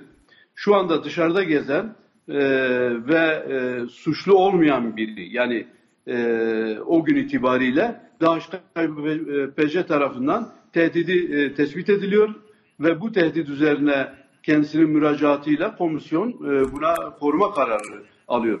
Bugün Kobani olaylarında yar- e, yargılanan bazı şahıslar hakkında da koruma kararı var ve şu anda korumaları var. E, bunları birbirinden ayırmak lazım. Ama bunlar ne zaman ki Korumalarda bir FETÖ izi suçun- olduğundan da bu- bahsediliyor. Bir bu taraftan hükümet- bir son dakika bilgisi olarak bir hatırlatayım onu da. göstermemiştir. Soruşturma açmıştır. Savcıların takibine alınmıştır. Ondan sonra bunlar bunun dünün şımarıklığıyla bu adamla ben niye 90'lı yıllardan bahsettim? Bunlar 90'lı yılların artıklarıdır. Bunlar bugün ortaya çıkmış AK Parti döneminde e, zuhur etmiş e, şeyler değil, suç örgütü liderleri değil. Bugün buna fırsat tanınmadığı için bunun kızgınlığıyla, bunun şıma, dünün şımarıklığıyla e, bu açıklamaları yaparak e, e, hükümetten intikam almak istemek. Peki Ahat Bey sizin de değerlendirmelerinizi bu konuda rica edeyim. Sizce geç bir e, sahip çıkma mı hem Soylu açısından hem e, Binali Yıldırım açısından e, bakıldığında e, aradan 3 hafta geçiyor. Öncelikle Soylu bu işe e, göz geriyor. Ardından Bahçeli'nin bir sahip çıkmasını görüyoruz. Bahçeli'nin de ardından e, Sayın Soylu'nun e, böyle bir e, özür dilerim Sayın Cumhurbaşkanı'nın böyle bir e, sahiplenmeye girdiğini görüyoruz. Pazartesi günü hep beraber e, tüm Türkiye Sayın Soylu'nun yapmış olduğu, vermiş olduğu röportajı izledi, dinledi. Orada Evet. çeşitli iddialar e, kendisine soruldu. Sorulanların e, den cevap alınan işte Sil- Silivri Emniyet Müdürü'nün intiharı etmesi e, doğru giden e, süreç Sedat Peker'in e, ortaya koyduğu. Bunu doğruladı Sayın Soylu. Diğer taraftan koruma kararını e, az önce belirttim doğruladı. Diğer yandan şimdi e, editörüm uyardı bu koruma kararlarında bir FETÖ izi tespit edilmiş bunun üzerine araştırma yapılıyormuş e, diye. Bir milletvekilinin e, 10 bin dolar aldığını TRT'de katıldığı programda söylemişti. Pazartesi günü Habertürk'te katıldığı programda bunun bir milletvekili olduğunu açık açık söylemedi ama bir siyasetçi olduğunu e, dile getirdi. E, kendisiyle ilgili işte e, de bir takım e, araştırmalar yapılmasını istediğini söyledi ama diğer taraftan hukukçular Anayasa 106'nın bunun önünde zaten engel oluşturduğunu kendisine bağlı kolluk kuvvetleri tarafından ya da kendisine bağlı birimler tarafından soruşturulamayacağını dile getiriyor. Nasıl değerlendiriyorsunuz siz buradaki e, süreci ve elbette son dakika bilgisi olarak Sedat Peker'e verilen yakalama kararını? Şimdi Mine Hanım, öncelikle bu konuda fotoğrafın bütününe bakmak lazım. Yani fotoğrafın küçük ayrıntılarına baktığınız zaman hadiseler birbirine karışıyor ve oradan bir sonuca varmak mümkün olmuyor.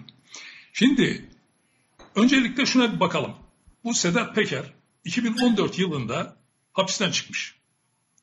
2015 yılından itibaren biraz önce sizin de söylediğiniz gibi Adalet ve Kalkınma Partisi'nin Cumhurbaşkanlığı seçimlerinde ya da genel seçimlerde ve milletvekili seçimlerinde vesaire destekleyici toplantılar, mitingler yapmaya başlamış.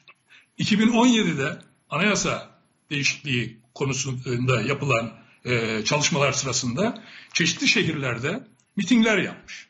Şimdi bu iktidar e, e, sahiplerinin bu mitingleri küçümsemesi ve şey yapması çok anlamlı değil. Türkiye'de hepimiz de biliriz ki böylesine kapsamlı mitingler yapabilmek için valiliklerin, devletin izin vermesi, önü açması ve bir anlamda kontrol dışı bırakması gerekir. Başka türlü yapamazsınız öyle. Yani Taksim'de bir toplantı yapmak için çeşitli STK'lar aylarca uğraşıyorlar ve sonuç alamıyorlar. Şimdi bunu küçümsememek lazım. Bu adama koruma verilmiş, korumanın ötesinde e, jammer verilmiş, sinyal bozucu vesaire verilmiş ve bu korumalar yakın koruma yurt dışına gidişinde dahi yanında olmuş. Bunu e, Sayın İçişleri Bakanı da söylüyor. Şimdi onun dışında Türkiye'deki gezilerinde valiler tarafından bir anlamda ve yer yer karşılanmış ve polis eskortluğunda bu gezileri yapmış. Ben eski bir bakanım. Ben bunlar bu, bu tip bir şeyi ben bakan olduğum dönemde bile yararlanmadım böyle bir şeyden. Yani buradan varmak istediğim şey şu. Ve bu adam bu toplantılarda çıkıp Türkiye'de kimsenin söz edemeyeceği şekilde kanlarını oluk oluk akıtacağız. Bunları bayrak direklerine asacağız diyerek muhalefete ve çeşitli muhalif STK'lara saldırmış ve bununla ilgili herhangi bir soruşturma vesaire yapılmamış. Şimdi bütün bunlar burada dururken e, Sedat Peker'in bir şekilde e, bunu böyle e, söylemiş ama yani önemli değil demek mümkün değildir.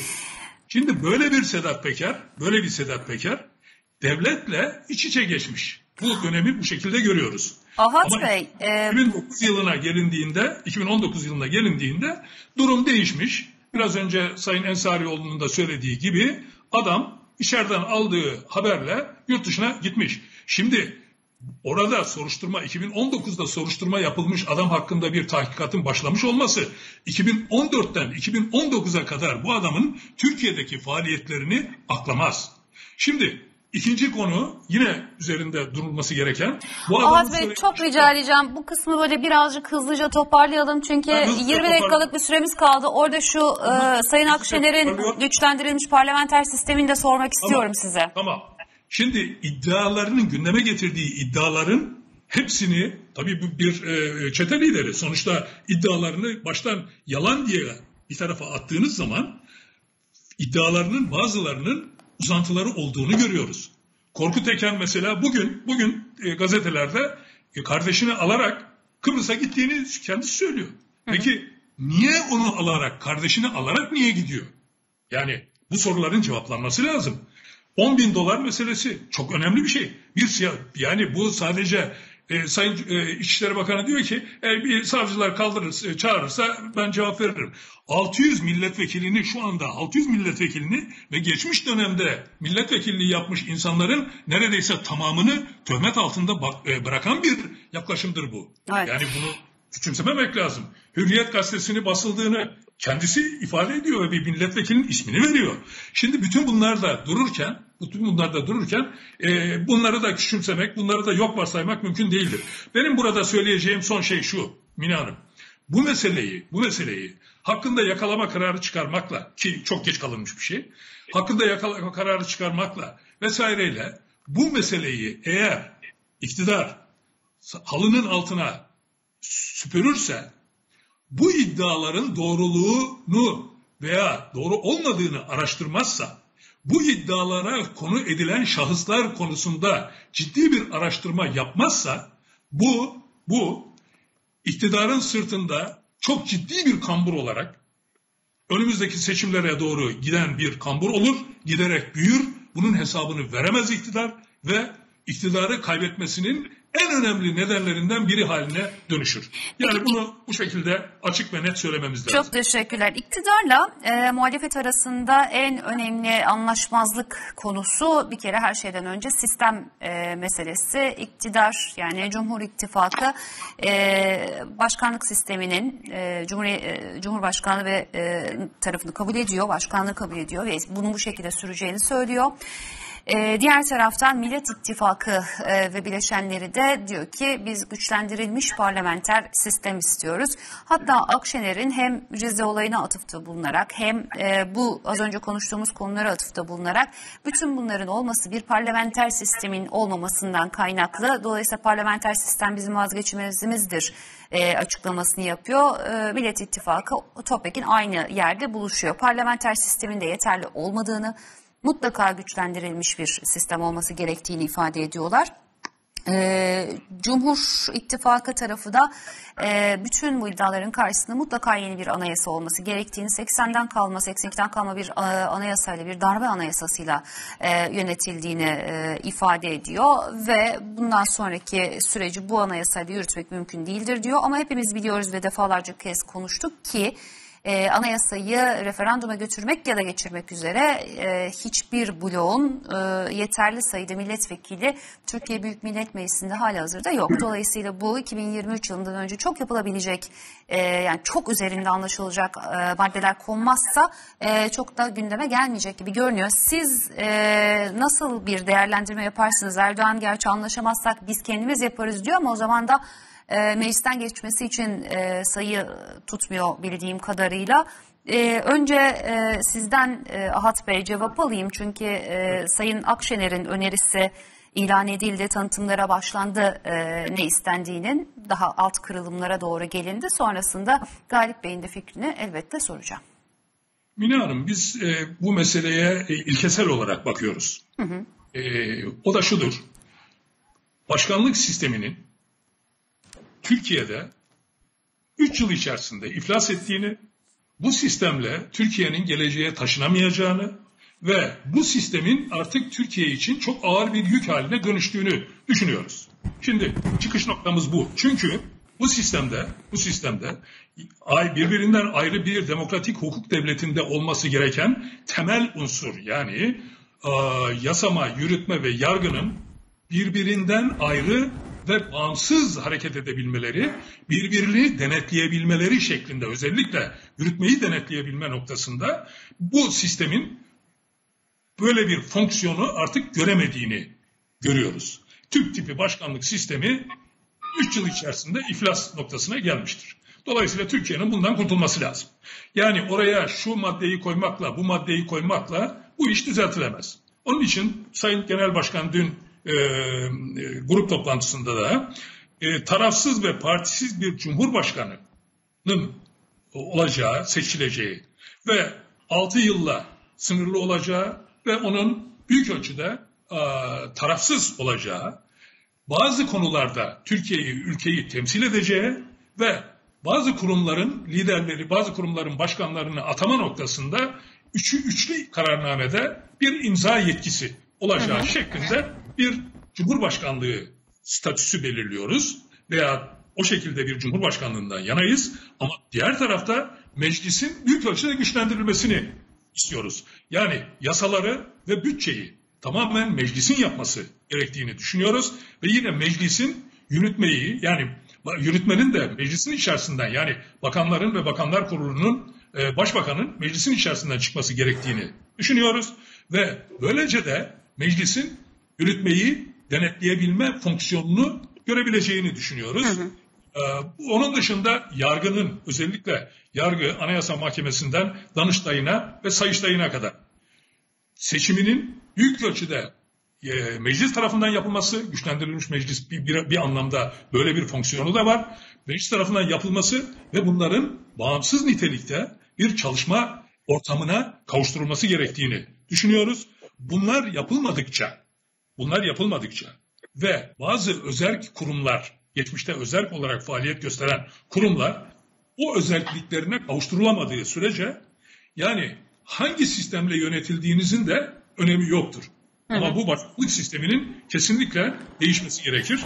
Peki ee, orada Gayip Bey'e de döneyim. Daha fazla ayrıntıya dönüp tekrar size soracağım ama en azından buraya kadar olanlarla ilgili olarak e, Galip Bey sizin değerlendirmeniz nedir? Başkanlık sistemi konusunda e, sizin de böyle bir e, ısrarınız var mı? Bu ısrar nereden kaynaklanıyor? Evet ben ona geçmeden önce çok kısa Sayın Andican'ın e, söylediği bir iki şeye cevap vereyim. E, bu e, suç örgütü liderinin e, yaptığı mitinglerin hiçbir şekilde soruşturulmadığı gibi bir şey söyledi ki Rize'de yaptığı mitinge Rize Cumhuriyet Savcısı anında e, e, soruşturma başlattı. E, ve bu konularda gerekli soruşturmalar da o dönem yapıldı. Yani kimse kayıtsız falan kalmadı o mitinglerdeki. Ama ceza, bir cezalandırma yapıldı mı? Yani dava açıldı ve e, ne ile sonuçlandı Sonuç? onu bilemiyorum. Davalar bir iki senede sonuçlanmadığı için sonucunun ne olduğunu ben bilemiyorum ama orada kullandığı cümleler eğer suç unsuru e, taşıyorsa o suç unsuru ta- e, taşıyan cümlelere karşı e, miting dönemlerinde davalar açıldı. E, kayıtsız kalınmadı, korunmadı. Yani bu şahsı e, mevcut iktidar benim için miting yapıyor diye korumadı.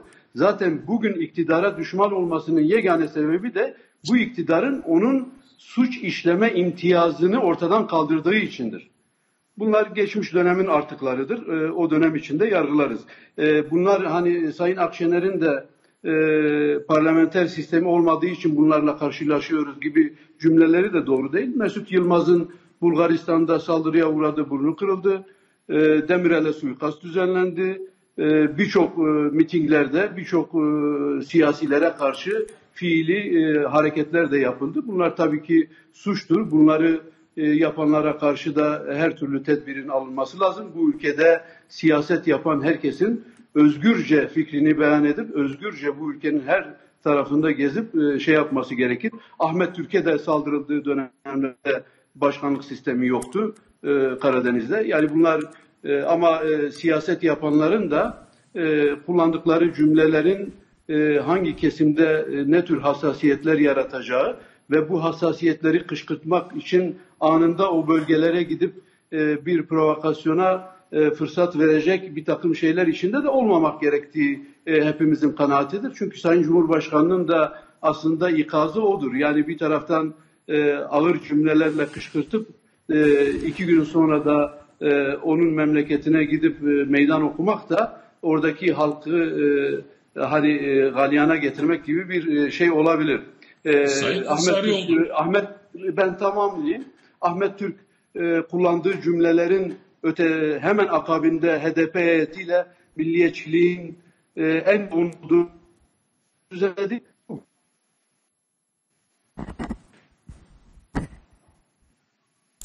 Orada Her iki bağlantımızda da bir e, donma var e, sanıyorum.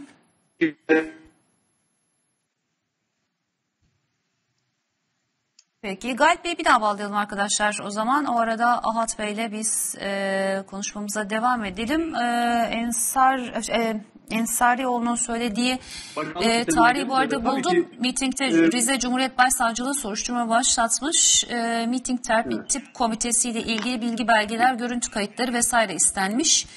E, Evet. Ben istenilen bilgi belgeler, Başkanlık- görüntü kayıtlarını da savcılığa teslim etmişler. Ama sonuç bulamadım. Sonuç, sonucu Başkanlık ben söyleyeyim. sistemiyle ilgili de başkanlık sistemiyle ilgili de fikirlerimi söyleyeyim. Tabii ki e, parlamenter sistemde, başkanlık sistemi de, yarı başkanlık sistemi de, eyalet sistemi de e, bunların tümü bir yönetim tarzıdır. Her ülke kendi gerçekliği içinde daha iyi idare edilebileceği bir sistemi kendi parlamentosundan geçirebilirse, kendi halkına kabul ettirebilirse e, bu tür sistemleri dener.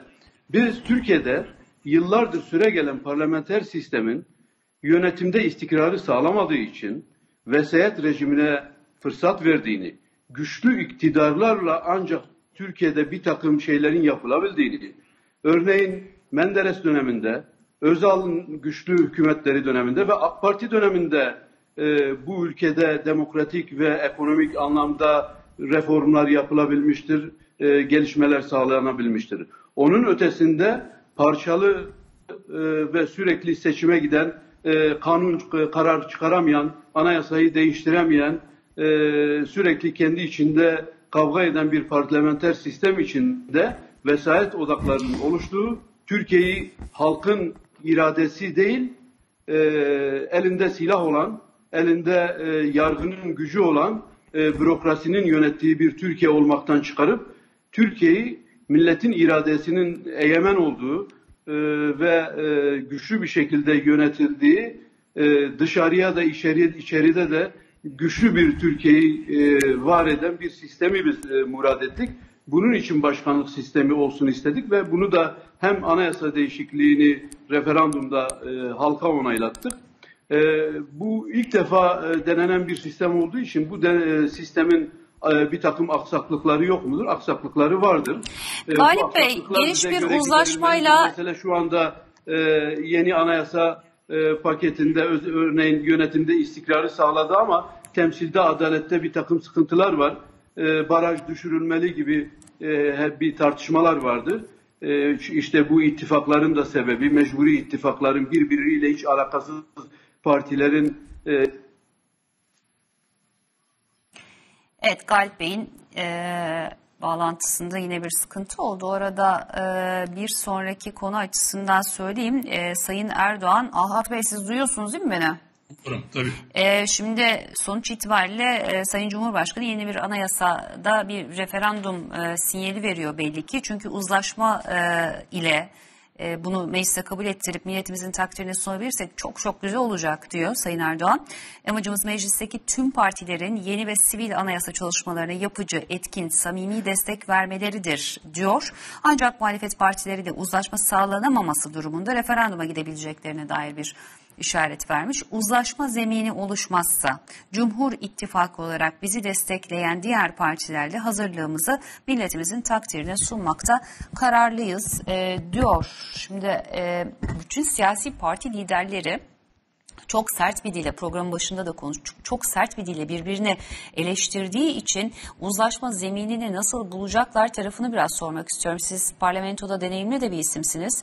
E, dolayısıyla işte faşistliğiyle, beceriksizliğiyle, terör örgütleriyle ve suç çeteleriyle aynı kulvarda yürüyüşüyle Cumhuriyet Halk Partisi apaçık ortadadır diyor Sayın Erdoğan, Sayın Cumhurbaşkanı.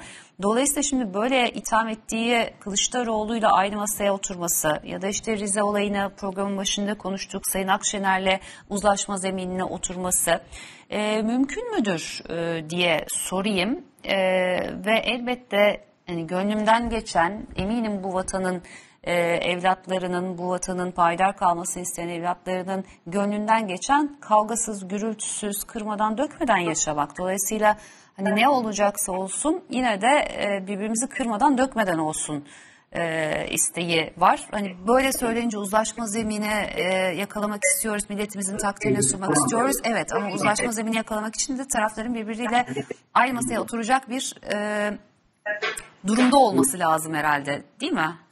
Evet. Şimdi e, ben hem Sayın Cumhurbaşkanı'nın hem de Sayın Bahçeli'nin yeni anayasa önerilerinin gündeme getirdikleri dönemi hatırlarsanız, ilk döneme getirdikleri hatır, dönemi hatırlarsanız, hiçbir şekilde muhalefetin bu işe katılacağını düşündükleri için getirdiklerini sanmıyorum. Öncelikle bunu altını çizeyim. Yani böyle bir beklentileri de yok. Böyle bir şey olması için bir altyapı da yok. Yani e, hatırlatayım şimdi, e, geriye doğru e, incelediğinizde göreceksiniz. Sayın Bahçeli yeni anayasa önerisini gündeme getirdiğinde aynı konuşmanın içerisinde Cumhuriyet Halk Partisi'ni ve İP'i bizim İyi Parti'yi İP olarak tanımlayıp ondan sonra yabancı örgütlerle şeylerle işbirliği yapıyor olmakla suçluyordu. Aynı konuşmanın içerisinde düşünün. Yani siz yeni anayasayı gündeme getiriyorsunuz. Herkes buna katılmalı diyorsunuz. Ama bir alt paragrafta Cumhuriyet Halk Partisi'ni ve İyi Parti'yi bu şekilde suçluyorsunuz. Buradan ne sonuç çıkar? Buradan çıkacak sonuç aynı şey Sayın Cumhurbaşkanı için de geçerli. Sayın Cumhurbaşkanı bir taraftan yeni anayasa önerisini gündeme getiriyor. Bir taraftan da muhalefeti dün, dün itibariyle hatırlayıp e, Cumhuriyet Halk Partisi'nin merkezini e, teröristler için, e, hırsızlar için, tecavüzcüler için bir merkez haline dönüştüğünü söylüyor. Yani böyle bir dili aynı konuşmanın içerisinde gündeme getirdiğiniz zaman böyle bir beklenti olduğuna inanabilir misiniz? Bu mümkün değil. İki, bu meseleye zaten muhalefet ilkesel olarak bakıyor. Yani böyle olduğunu, matematik olarak böyle bir sonuç ortaya çıkmayacağını bildiği halde niye gündeme getiriyor e, Sayın Cumhurbaşkanı ve e, Sayın Bahçeli? Onu da ben söyleyeyim. İlk defa Sayın Cumhurbaşkanı Ocak ayında bu yeni anayasa yap yapılmalı önerisini gündeme getirdiğinde sizin televizyonunuzda da ben gündeme getirmiştim bu tanımlamayı yapmıştım. Burada amaç yeni anayasa yapmak değil. Önümüzdeki seçimlere biz yeni bir anayasa yapmak istiyoruz. Darbe anayasasını değiştirmek istedik. Fakat e, muhalefet buna e, yol vermedi.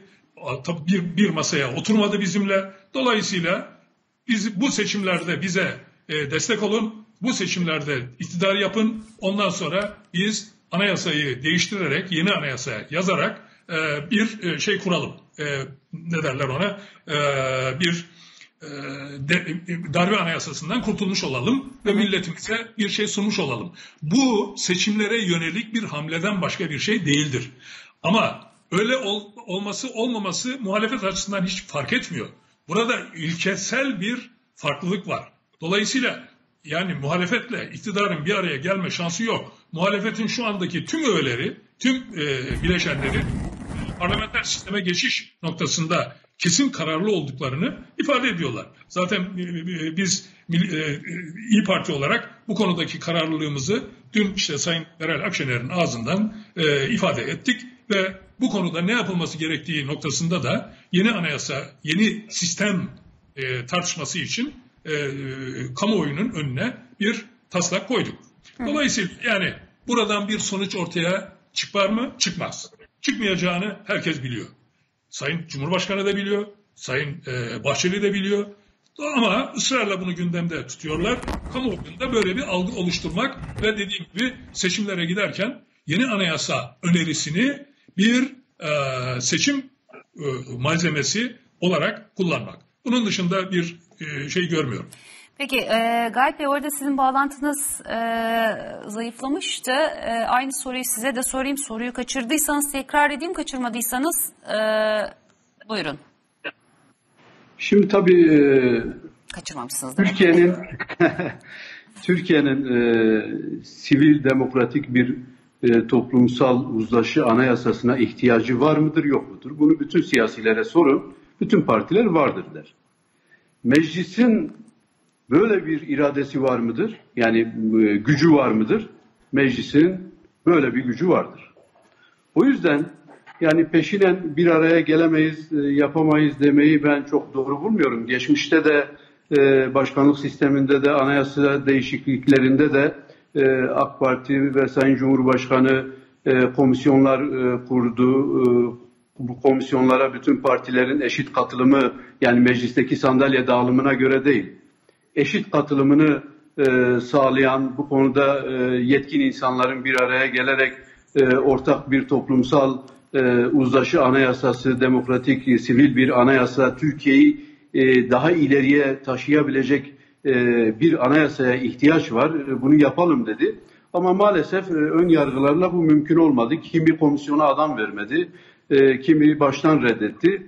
Aslında bunları kendi içimizde tartışmamız lazım. Bu tartışmalar bile e, başlı başına değerlidir. E, çünkü 1924'te dahil olmak üzere bugüne kadar Cumhuriyet'ten bugüne e, demokratik sivil bir anayasa yapamadık biz. Askeri vesayet anayasalarıdır bunlar. Bunların sağını solunu değiştirmekle e, bu anayasa demokratikleşmez ve sivilleşmez. Bu anayasanın ruhu e, darbe anayasasıdır. Bu anayasanın ruhunun değişmesi lazım. O yüzden defalarca anayasa değiştiği halde e, istediğimiz e, sonucu henüz alabilmiş değiliz. Türkiye'nin hak ettiği, insanca e, yaşayabileceği ve Türkiye'yi ileriye taşıyacak demokratik e, uzlaşı anayasasının, sivil bir anayasanın muhakkak e, yapılması gerekir. E, bence peşinen bunu reddetmek e, yerine e, bu tartışmanın içine girmek lazım. Kim samimi, kim değil hani parlamenter sistem ve başkanlık sistemi arasında e, bir ayrışmayı bir kenara bırakabiliriz. Yani eğer biz Millet İttifakı parlamenter sistemi savunuyorsak, AK Parti ve MHP Cumhur başkanlık sistemini savunuyorsa, biz birlikte anayasa yapamayız demememiz lazım. Bu maddeyi bir tarafa bırakarak yani anayasanın bu konuyla ilgili hükümlerini bir tarafa bırakarak evrensel değerler etrafında e, daha özgür, daha e, e, özgürlüklerin teminatı olacak bir anayasayı e, daha anlaşılır, daha kısa metinler, daha e, az maddelerle e, bir anayasayı var edelim. Gerekirse başkanlık sistemi e, ile ilgili maddeyi ayrıca halkın referandumuna sunarsınız geçen defa sunduğumuz gibi. Ama uzlaştığımız, üzerinde uzlaştığımız e, ortak değerleri temsil eden bir anayasamız bana göre e, olmalı ve bunu yapabilecek e, kabiliyetteyiz. Yani bunu peşinen bence reddetmememiz lazım. Peki. E, bir tarafıyla... Yine- Buyurun. Bir, bir iki cümle e, katkıda bulunabilir miyim? Elbette buyurun lütfen. Sayın, Sayın Ensarioğlu'nun e, ortak bir anayasa yapılsa iyi olur görüşü doğru bir görüştür. Ama ama anayasa bütün toplumu yansıtmadığı sürece başarılı olmaz. Şu andaki Yani muhalefetsiz olmaz bu iş diyorsunuz. Doğru mu anlıyorum? Tabii ki, tabii ki toplumun bütün katmanlarının katıldığı, temsil edildiği bir çalışma ile anayasa ortaya çıkar. Siz şimdi anayasayı sadece bu e, hükümetin yaptığı gibi veya iktidarın yaptığı gibi e, biz bir anayasa taslağı hazırladık. E, Cumhuriyet, hatırlayın e, Sayın Cumhurbaşkanı'nın bundan önceki konuşmalarından birini. Biz bir anayasa taslağı hazırladık. Ortağımızla da bunu Milliyetçi Hareket Partisi'nde de sunacağız. Ondan sonra da e, gündeme getireceğiz. Yani Anayasa Mahkemesi'nde, anayasa pardon anayasada ne olduğu konusunda kimsenin bir fikri olmadan buna destek verilmesi ya da verilmemesi noktasında bir değerlendirme yapılıyor. Böyle bir şey olmaz. Başkanlık sistemini veya e, parlamenter sistem mi olacağını düşünmeksizin bunu bir madde olarak arka, şeye koyup bir anayasa taslağı gerçekleştirilemez. Çünkü anayasanın birçok maddesi birçok maddesi hangi sistemle ülkenin yönetileceğine e, göre değişmektedir.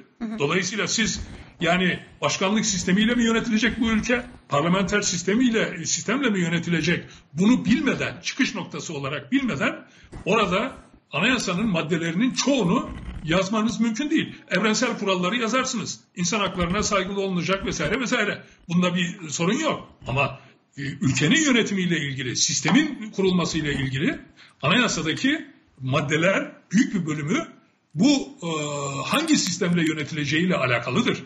Dolayısıyla bu şekilde bir şey kurulamaz. Yani bizim bizim son, sonuç olarak muhalefet olarak gördüğümüz şey bunu baştan reddetmek değil. Ama iktidarın bu anayasa yaklaşımında e, ciddi sorunlar taşıdı, sorunlar da ülkeye yükleyeceğini düşündüğümüz içindir.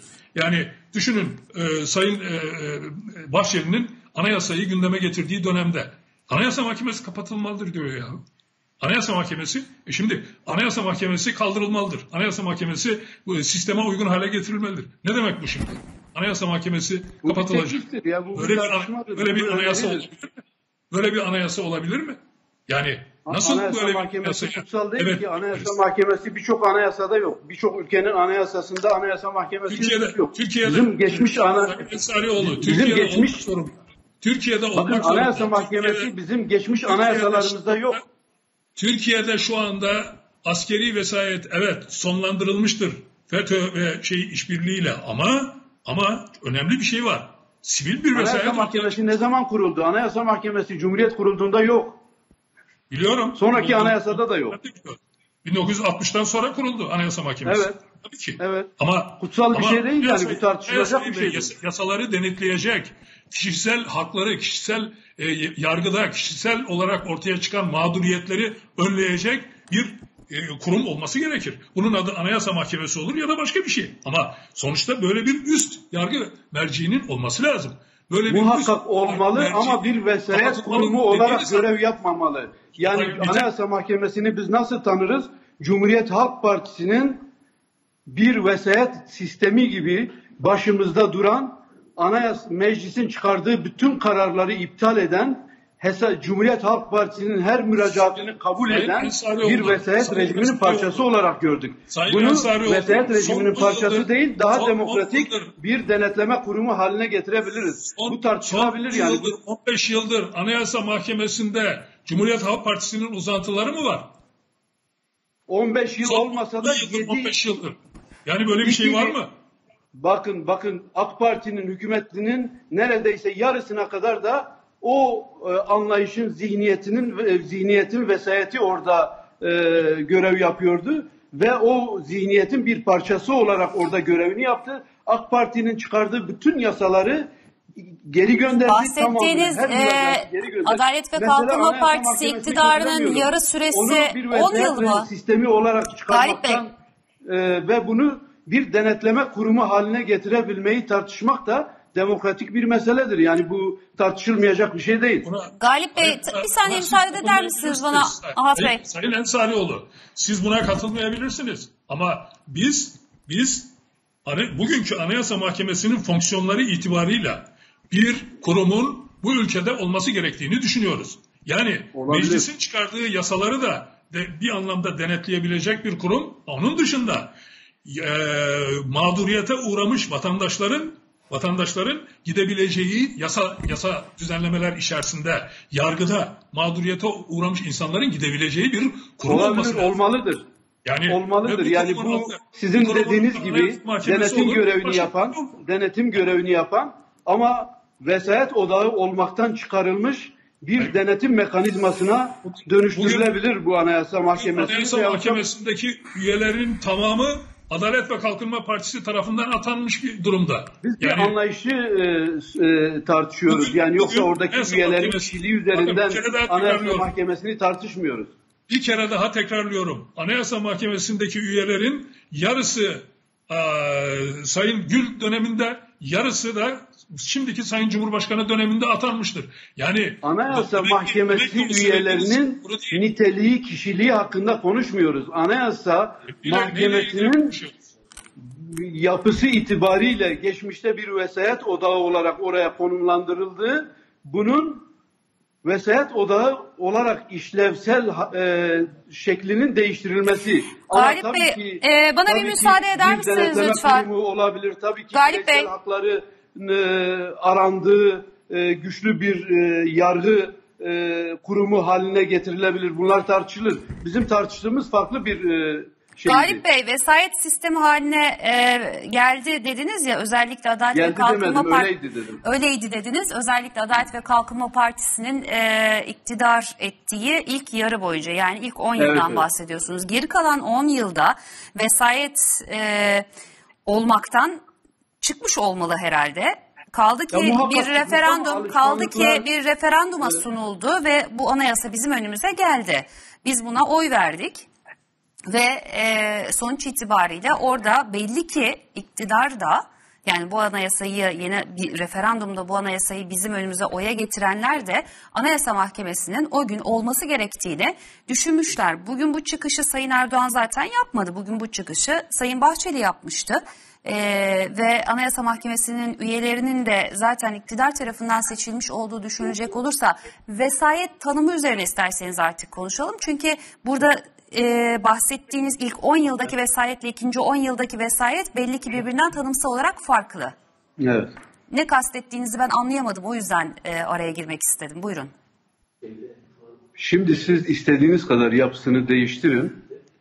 Kendisine Bir değiştirmedikten kurum, sonra olmaz bir diyorsunuz. kurumun bir kurumun kurulurken ona yüklenen e, anlam ve o ruh maalesef kaybolmuyor. Benim söylemek istediğim Anayasa Mahkemesi'nin belki yapısı değiştirilebilir. Yani kaldırılsın diyenlerden değilim ben.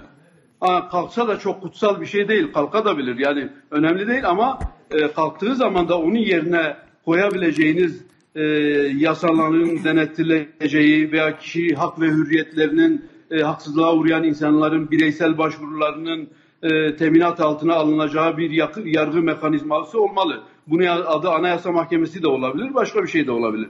Ben hani kaldırılsın demiyorum. Ben düzenlenmeli diyorum. Yeniden düzenlenmeli. Ha, bunu tartışmak e, öyle e, rejimi tartışmak falan da değil. Yani bunu e, tartışmak çok kötü bir şey değil. Yani bu- bunu söylemeye çalışıyorum. Peki teşekkür ediyorum her ikinize de. Kolaylıklar diliyorum. Sağ olun yayınımıza yapmış olduğunuz katkılar için. Biz de bir günün gelişmelerine bakalım hep beraber. Sonrasında devam edeceğiz. Bu sefer dış politikayı konuşacağız.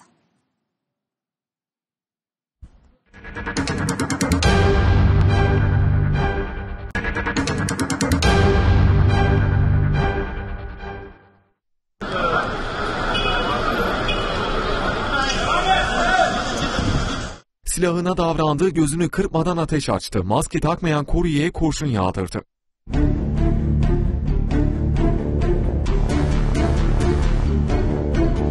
Kan donduran olay İstanbul Fatih'te 26 Mayıs çarşamba günü meydana geldi.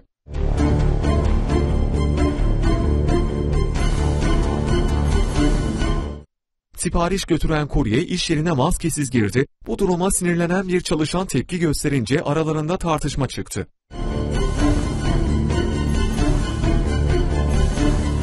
Tartışma bir süre sonra sokağa taştı. Tarafların arkadaşları da dahil olunca olay büyüdü. Tekmeli yumruklu kavgaya dönüştü. O anda bir kişi belindeki silahı çıkardı, tetiğe bastı. Kurşunların hedefindeki kurye döviz bürosuna kaçsa da yaralanmaktan kurtulamadı. Vücuduna iki kurşun isabet etti.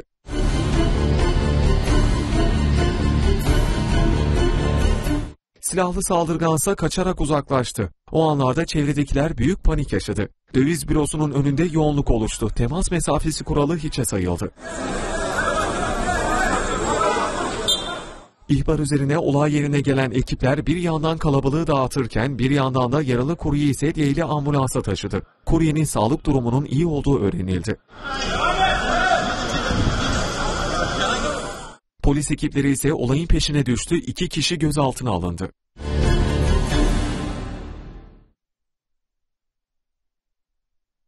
üzere 99 arkadaşımız Amerikan Ulusal Havacılık ve Uzay Dairesi NASA, Instagram'dan İstanbul'a ait uydu görüntüsünü paylaştı. Hey İstanbul parlıyorsun, İstanbul Boğazı ve Haliç'in ikiye ayırdığı kentin gece ışıklarına bakın notunu düştü. Fotoğrafın 10 Mayıs 2021'de Uluslararası Uzay İstasyonu'ndan Karadeniz'in 263 mil yukarısındaki yörüngedeyken çekildiği bilgisi verildi. Yapılan paylaşım 1,5 milyondan fazla beğeni aldı.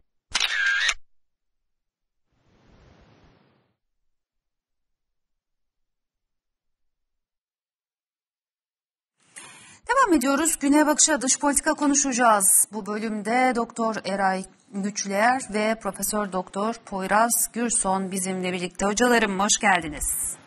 Teşekkür ederiz. İyi yayınlar dilerim. Sağ olun. Teşekkür ediyorum. Sağ olun. Şimdi yani böyle dış politika konuşmayı daha çok böyle Amerika, Rusya e, üzerinden e, daha keyifli, daha eğlenceli, daha böyle satranç oynar gibi e, olduğu için daha çok seviyorum ama bu İsrail, Filistin insanın içini acıtıyor, canını yakıyor. E, bir şekilde böyle insanın e, boğazında sözcükleri e, düğümlüyor. Dolayısıyla çok da sevmediğim bir konuyu e, bugün maalesef e, konuşmak zorunda kalacağız. Mısır bir aracı e, olma e, yolunda gitti. Kahire'de düzenlenmesi planlanan İsrail-Filistin görüşmelerine ilişkin detaylarda netleşmeye başladı ufak ufak. E, neler var diye şöyle bir e, bakıyoruz. Barış görüşmelerinden öncelikli olarak Mısır'ın aracılık edecek olmasını nasıl değerlendiriyorsunuz? E, nasıl bir sonuç çıkar e, tarafını önce Poyraz Hocam size sorarak başlayayım. Ee, Şimdi Mine Hanım çok e, sert bir İsrail müdahalesi gördük. İşte Hamas'ın attığı roketlerden sonra 11 gün. Tabii bizim de çok büyük diplomatik girişimlerimiz oldu. İşte Sayın Çavuşoğlu'nun katılımıyla Birleşmiş Milletler Güvenlik Konseyi toplandı. Ama e, Mısır burada hem e, ABD ile hem de şu anda refah sınır kapısını açarak hem de Rusya'nın e, kendisine işte Su-35 uçakları sattığını biliyoruz. Dolayısıyla e, Rusya'nın da özellikle arabuluculuk teklifleri olmuştu. Bunları e, bir siyasi tarih at- anımsayarak şimdi İsrail'in yanlışlarını makro çerçevede bir çizmek gerekir. Şimdi iki devletli çözümü şu an ABD de burada dile getirdi. E, Filistin'e de gelecek yılki bütçesinde 360 milyon dolar bir e, yardım öngörüyor. Trump da bunları göremiyorduk. Dolayısıyla e, burada şimdi e, öncelikle İsrail'in mutlak bir güvenlik anlayışı var. E, siyasi tarihte işte Tel Aviv Paris seferini yapan bir uçak kaçırılmıştı. İşte Jonathan Netanyahu, Netanyahu'nun abisi bu operasyonu yürüten 27.06 1976'da bu operasyon yapıldı. E, uçak kaçırıldı. Bir hafta sonra e, 102 rehinenin kurtarıldığı bir mutlak e, güvenlik anlayışıyla ama kayıplar da var tabii. Orada Yonatan operasyonu adı verildi. Dolayısıyla o gün bugündür İsrail gerek bu Filistin'e, Filistin Kurtuluş Örgütü'ne mutlak bir güvenlik anlayışıyla bakmakta. Burada stratejik bir hata yapıyor. Bakın e, önce bu İsrail'i yöneten e, yönetimin bu anlayıştan vazgeçmesi gerekiyor. Neden? Demir kubbe diyoruz. Şimdi o e, görsel bir şey neticesinde radar sistemi gibi çalışıyor. Bugün 800 füze, yarın Biden destekleyeceğim dedi. Bin füzeyi de engelleyebilirsiniz ama çok uçak e, küçük şeyler atıldığında, füzeler atıldığında bunların tamamına birden yanıt vermeniz imkansız. Artı orada nükleer e, tesisler var, 6'ya yakın. Artı şimdi Rusya sahada Humeyni hava üstünde nükleer uçaklarını da artık kullanmaya başladı. Dolayısıyla İsrail'in hiç arzu etmediği nükleer bir e, Suriye rejimi ve arkasında Rusya olan bir coğrafya şekilleniyor. Artı Hayfa limanından Hür Dünya'ya işte Babül Mendeb Boğazı, Kızıldeniz bunlar önemli ve İsrail'i tabii ki ABD, e, NATO'da da artık e, bir şekilde CENTCOM'un vereceği görevlerle beraber izleyeceğimiz bir sürece doğru gidiyoruz ama bu mutlak güvenlik anlayışı yanlış. Çünkü hemen e, hiç arzulamadı işte sadece İran şu an nükleer anlaşmada bir sonuca varmıyor. Orada da biliyorsunuz bir başkan adayları anayasa koruma kurulu onayladı. Ahmadinejad aday değil. En büyük güçlü aday İbrahim Reisi. O da Hamene'ine rakip olarak gösteriliyor. Yani bir sonraki e, Selefi olarak gösteriliyor. Yani dolayısıyla bu kadar e, böyle bir coğrafyada o e, olmaz olmayacak mutlak güvenlik anlayışında stratejik bir hata yapıyor ve burada olan masum Filistinli e, özellikle Gazze'li tabi orada da siyasi çekişmeler de buna biraz e, zemin hazırlar gibi. Bugün e, Hares gazetesinde 67 Filistinli çocuğun fotoğrafını yayınlandığını görüyoruz İsrail'de. Dolayısıyla umarım bir geri adım atma olur. Bu barış şeylerinden iki devletli bir çözüm çıkar mı? Ben orada gene altını çizeceğim. İsrail'in öncelikle bütün e, diğer devletlerinde Gazze'ye insani yardım konusunda havalimanı var orada. Hemen kullanıma hazır. Gazze'deki havalimanına insani bir hava yolu koridoru oluşturulmalı. Batı Şeria'da da keza böyle bir e, hemen kullanıma hazır hale getirilebilecek bir hava limanı var. Dolayısıyla dış dünya ile çok yoğun bir nüfusun artı insani yardım noktasında çok büyük ihtiyaçları olan bir nüfusun barındığı noktaya bütün insanlığın el atması gerekiyor. Burada tabii Türkiye e, gerek Kudüs gerek siyasi tarihinden gelen sorumluluklarıyla e, mutlaka öncü rolü oynayacaktır. Tabii burada e, bu e, şimdi biz yaparız, biz haklıyız. İşte e, o zaman da İdamim vardı anlattığım siyasi tarih olayında. E, İdam'in Entebbe Havalimanı'na indiğinde MİG'leri falan kaldırdı. Bir hafta orada kaldı ama neticesinde e, mutlak güvenlik anlayışıyla çok başarılı bir operasyon gerçekleşti. O gün bugündür 1976'dan bugüne İsrail her yerde en iyi şeyi kullanacağım, en üstün teknolojiyi kullanacağım. Bir de hiç gedik ve geçit açmayacağını düşünerek bir strateji oluşturuyor. Bu e, tabii e, siyasi hedefleri de var. İşte e, abisini anlattım Netanyahu'nun. Dolayısıyla e, şu anda bu yüzyılla bu strateji örtüşmüyor. Önce İsrail'in, İsrail devletinin bunu yeniden bir gözden geçirmesi gerekiyor. Artı şu anda bütün dünyanın gözün içine baka baka e, büyük bir katliam gerçekleştiriyor ve artı bir de burada çifte standart var. Çünkü bütün dünya bunu görmezden geliyor. Associated Press'in binası vuruluyor. Muhabiri işten atılıyor oradaki haberleri geçtiği için ama ona da çift taraflı bir yaklaşım var ama bunu artık ABD'nin de yani bu yapılanlara karşı İsrail'e bir dur demesi gerekiyor ve Güvenlik Konseyi'nin bu yapılanmasıyla işte e, birazdan da ben hatta sizin yayınınız olduğu için uluslararası bir konferansta da tebliğ sunduk. Pandemi sonrası uluslararası sistem diye orada da Ayvansaray Üniversitemiz düzenliyor. Bunu ifade edeceğim. Yani yepyeni bir sisteme, Sayın Cumhurbaşkanımız da ifade ediyor, dünya beşten büyük diye, yepyeni bir sisteme ihtiyaç var. Özellikle bu salgın bunu gösterdi. Dolayısıyla bu sistemle ilgili özellikle de Orta Doğu'daki bütün fay hatlarını oynatabilecek İsrail'e e, birilerinin dur demesi gerekiyor. Şimdi hocam e, bir tarafıyla savaşın bir bedeli, e, İsrail gazetesi az önce bahsetmiştiniz siz, Haaretz, ee, İsrail ordusunun Gazze'de öldürdüğü 67 çocuğun fotoğrafını ve isimlerini yayınlıyor. Manşette savaşın bedeli budur başlığı kullanılıyor. Az önce arkadaşlarımız e, hazırladılar. E, yıkım görüntüleri de var. Eray Hocam böylece size döneyim. E, savaşın bedeli yani savaşın bir bedeli elbette oluyor ama e, sonuçta bir tazminatının da olması gerekmiyor mu? Bu iş böyle işte biri ara bulucu olacak, öbürü bölgenin abiliğini yapacak, belki başka bir şey yapacak ve İsrail yine bildiğini okuyacak ve yanına kar mı kalacak? Şu anki e, küresel sisteme bakacak olursak e, küresel sistem İsrail e, yanlısı güçlerin e, adeta araçsallaşmış hali durumunda. Yani Birleşmiş Milletler, Avrupa Birliği, NATO, yine diğer işte başta İslam İşbirliği Teşkilatı olmak üzere çeşitli lokal ve küresel örgütler e, bu anlamda e, araçsallaşmış durumda.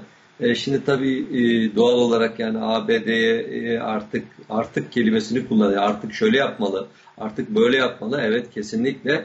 E, fakat arka plana baktığımızda e, yani İsrail e, yönelimli e, Amerika'nın bundan sonra da aynı politikalarına devam etmesini e, gö devam edeceğini görüyoruz. Çünkü e, bugün İsrail ABD'yi ayırmak e, yanlış olur. Yani İsrail içer e, ABD içerisindeki İsrailliler özellikle e, ABD'nin istihbarat, dış ilişkiler yani dış e, Dışişleri Bakanlığı ve ekonomi e, yönetimini e, büyük oranda İsrail kökenli insanlar yönetiyor. E, dolayısıyla ha ABD ha İsrail. Hani Biden e, e, geldiğinde işte Donald Trump'la e, arasındaki e, mücadele nedeniyle işte İsrail politikasında da bir değişiklik ol, olabilir filan gibi biliyorsunuz zaman zaman söylemler oldu. Bunun doğru olmadığı artık net bir şekilde ortada.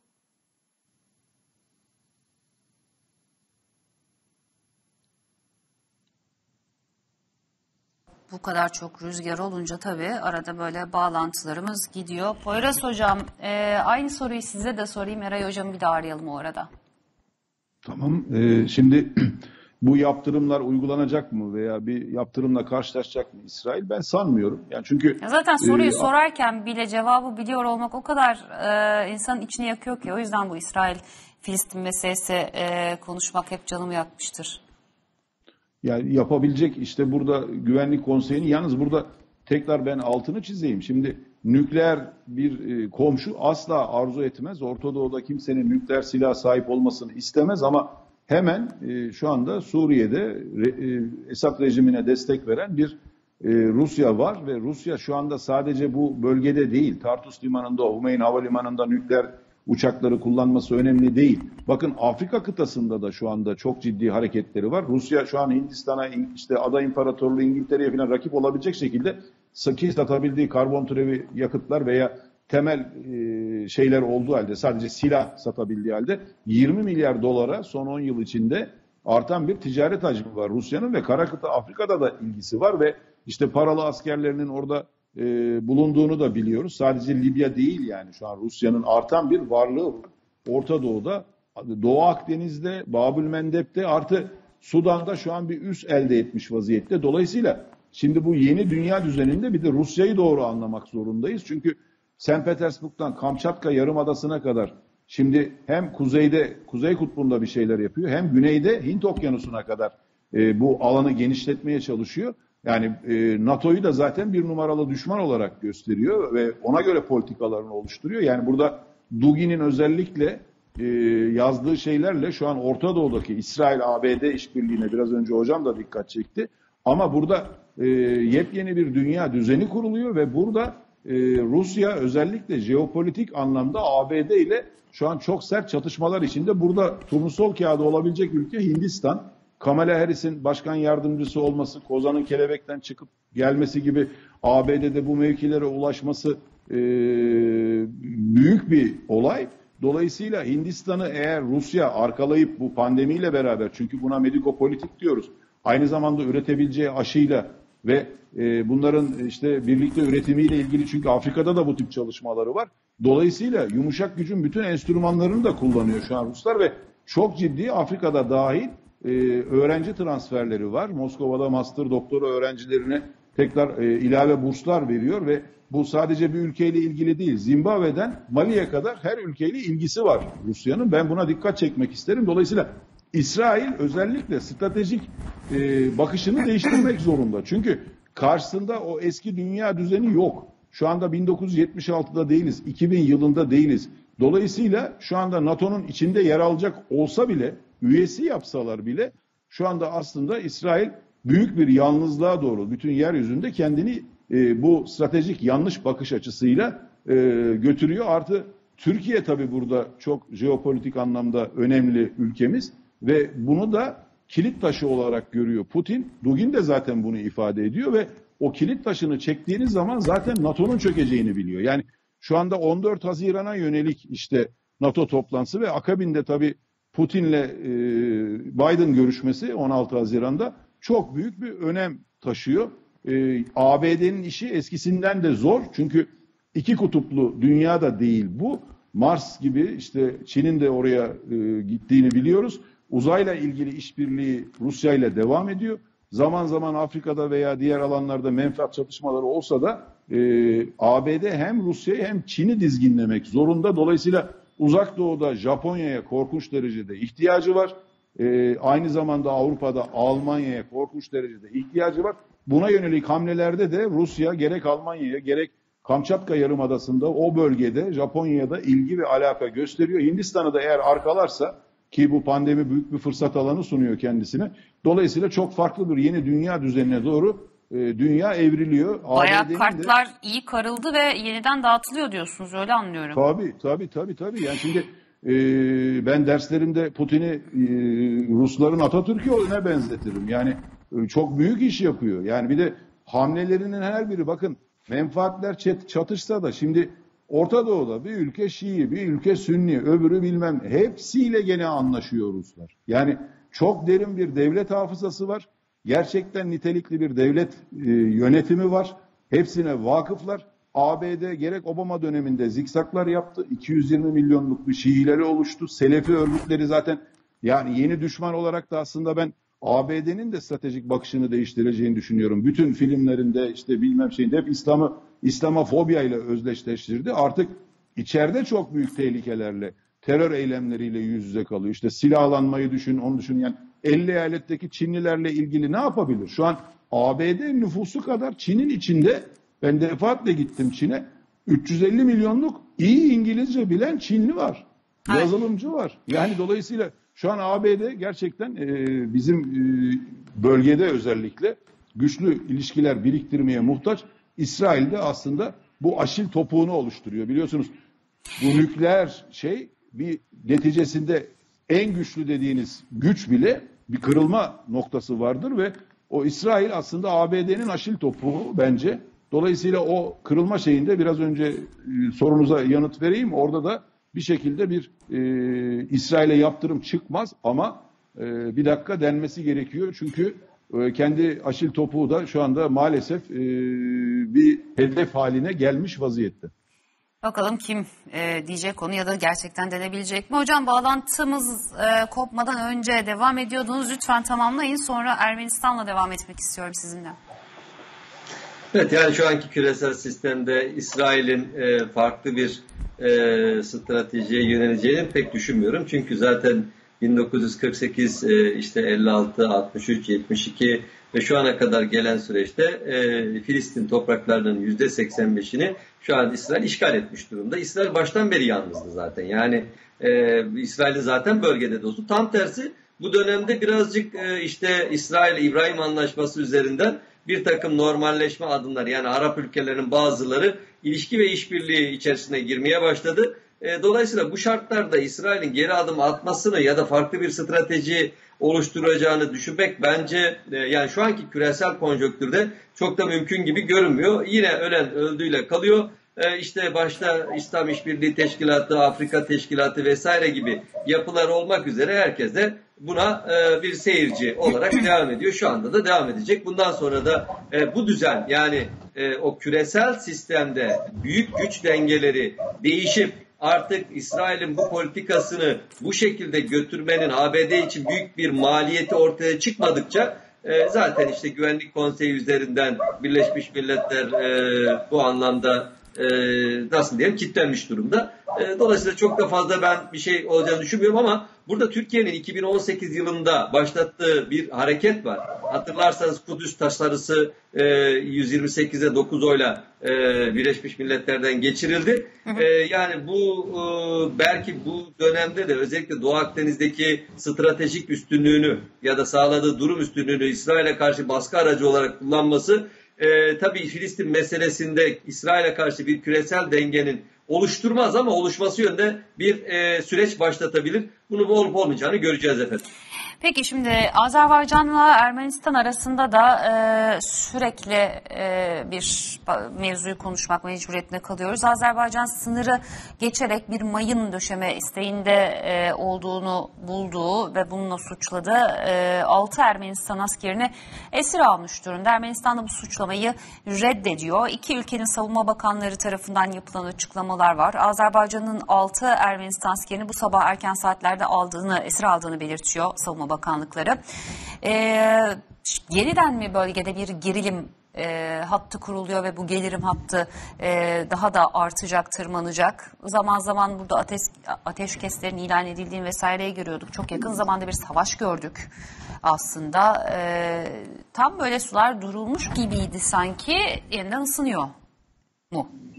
Ya Mine Hanım aslında durulmadı sular. Yani biraz önce iki kademede bakalım. Bir makro bakışta e, Kafkasların batısında Karabağ, doğusunda da Fergana Vadisi. Pimi çekilmiş el bombası ne zaman patlayacağı belli olmaz. Yani böyle bir durumda. Ve e, diğer bir husus da Azerbaycan'ın e, gerçekten o 44 günde e, Ermenistan harp gücünü Karabağ'da yok etmesiyle gelişen o önemli kazanım, önemli başarı henüz daha tamamlanmadı. Yani Karabağ'ın tamamen özgürleştirilmesi noktasında daha süreç devam edecek gibi. Ne zaman politik sürece döndüğü e, durumlarda ne zaman dönerse bu politik süreçler işlemeye başlarsa bunlar hep Ermenistan ve e, Ermenistan'ın arkasındaki yani Ermenistan'ı destekleyen küresel güçlerin desteğindeki Ermenistan hep haklı çıkar, kazançlı çıkar. E, bunu da Azerbaycan biliyor ve dolayısıyla hatırlarsanız o 44 günlük savaşta e, yani burada Azerbaycan'a saldıran Ermenistan'dı. Ermenistan'ı saldırtan kimdi? Onlara baktığınızda batılı güçler.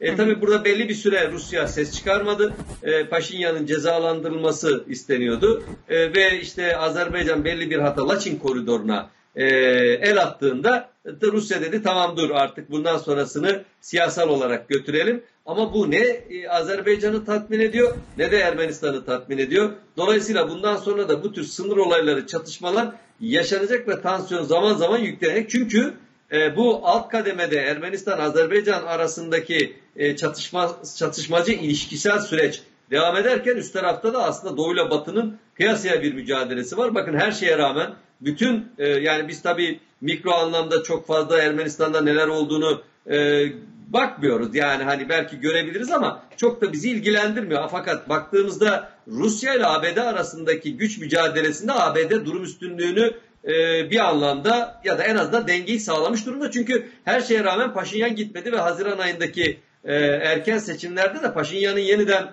e, başbakan olma ihtimali her geçen gün artıyor ya da en azından öyle bir ihtimalin olduğu konuşuluyor.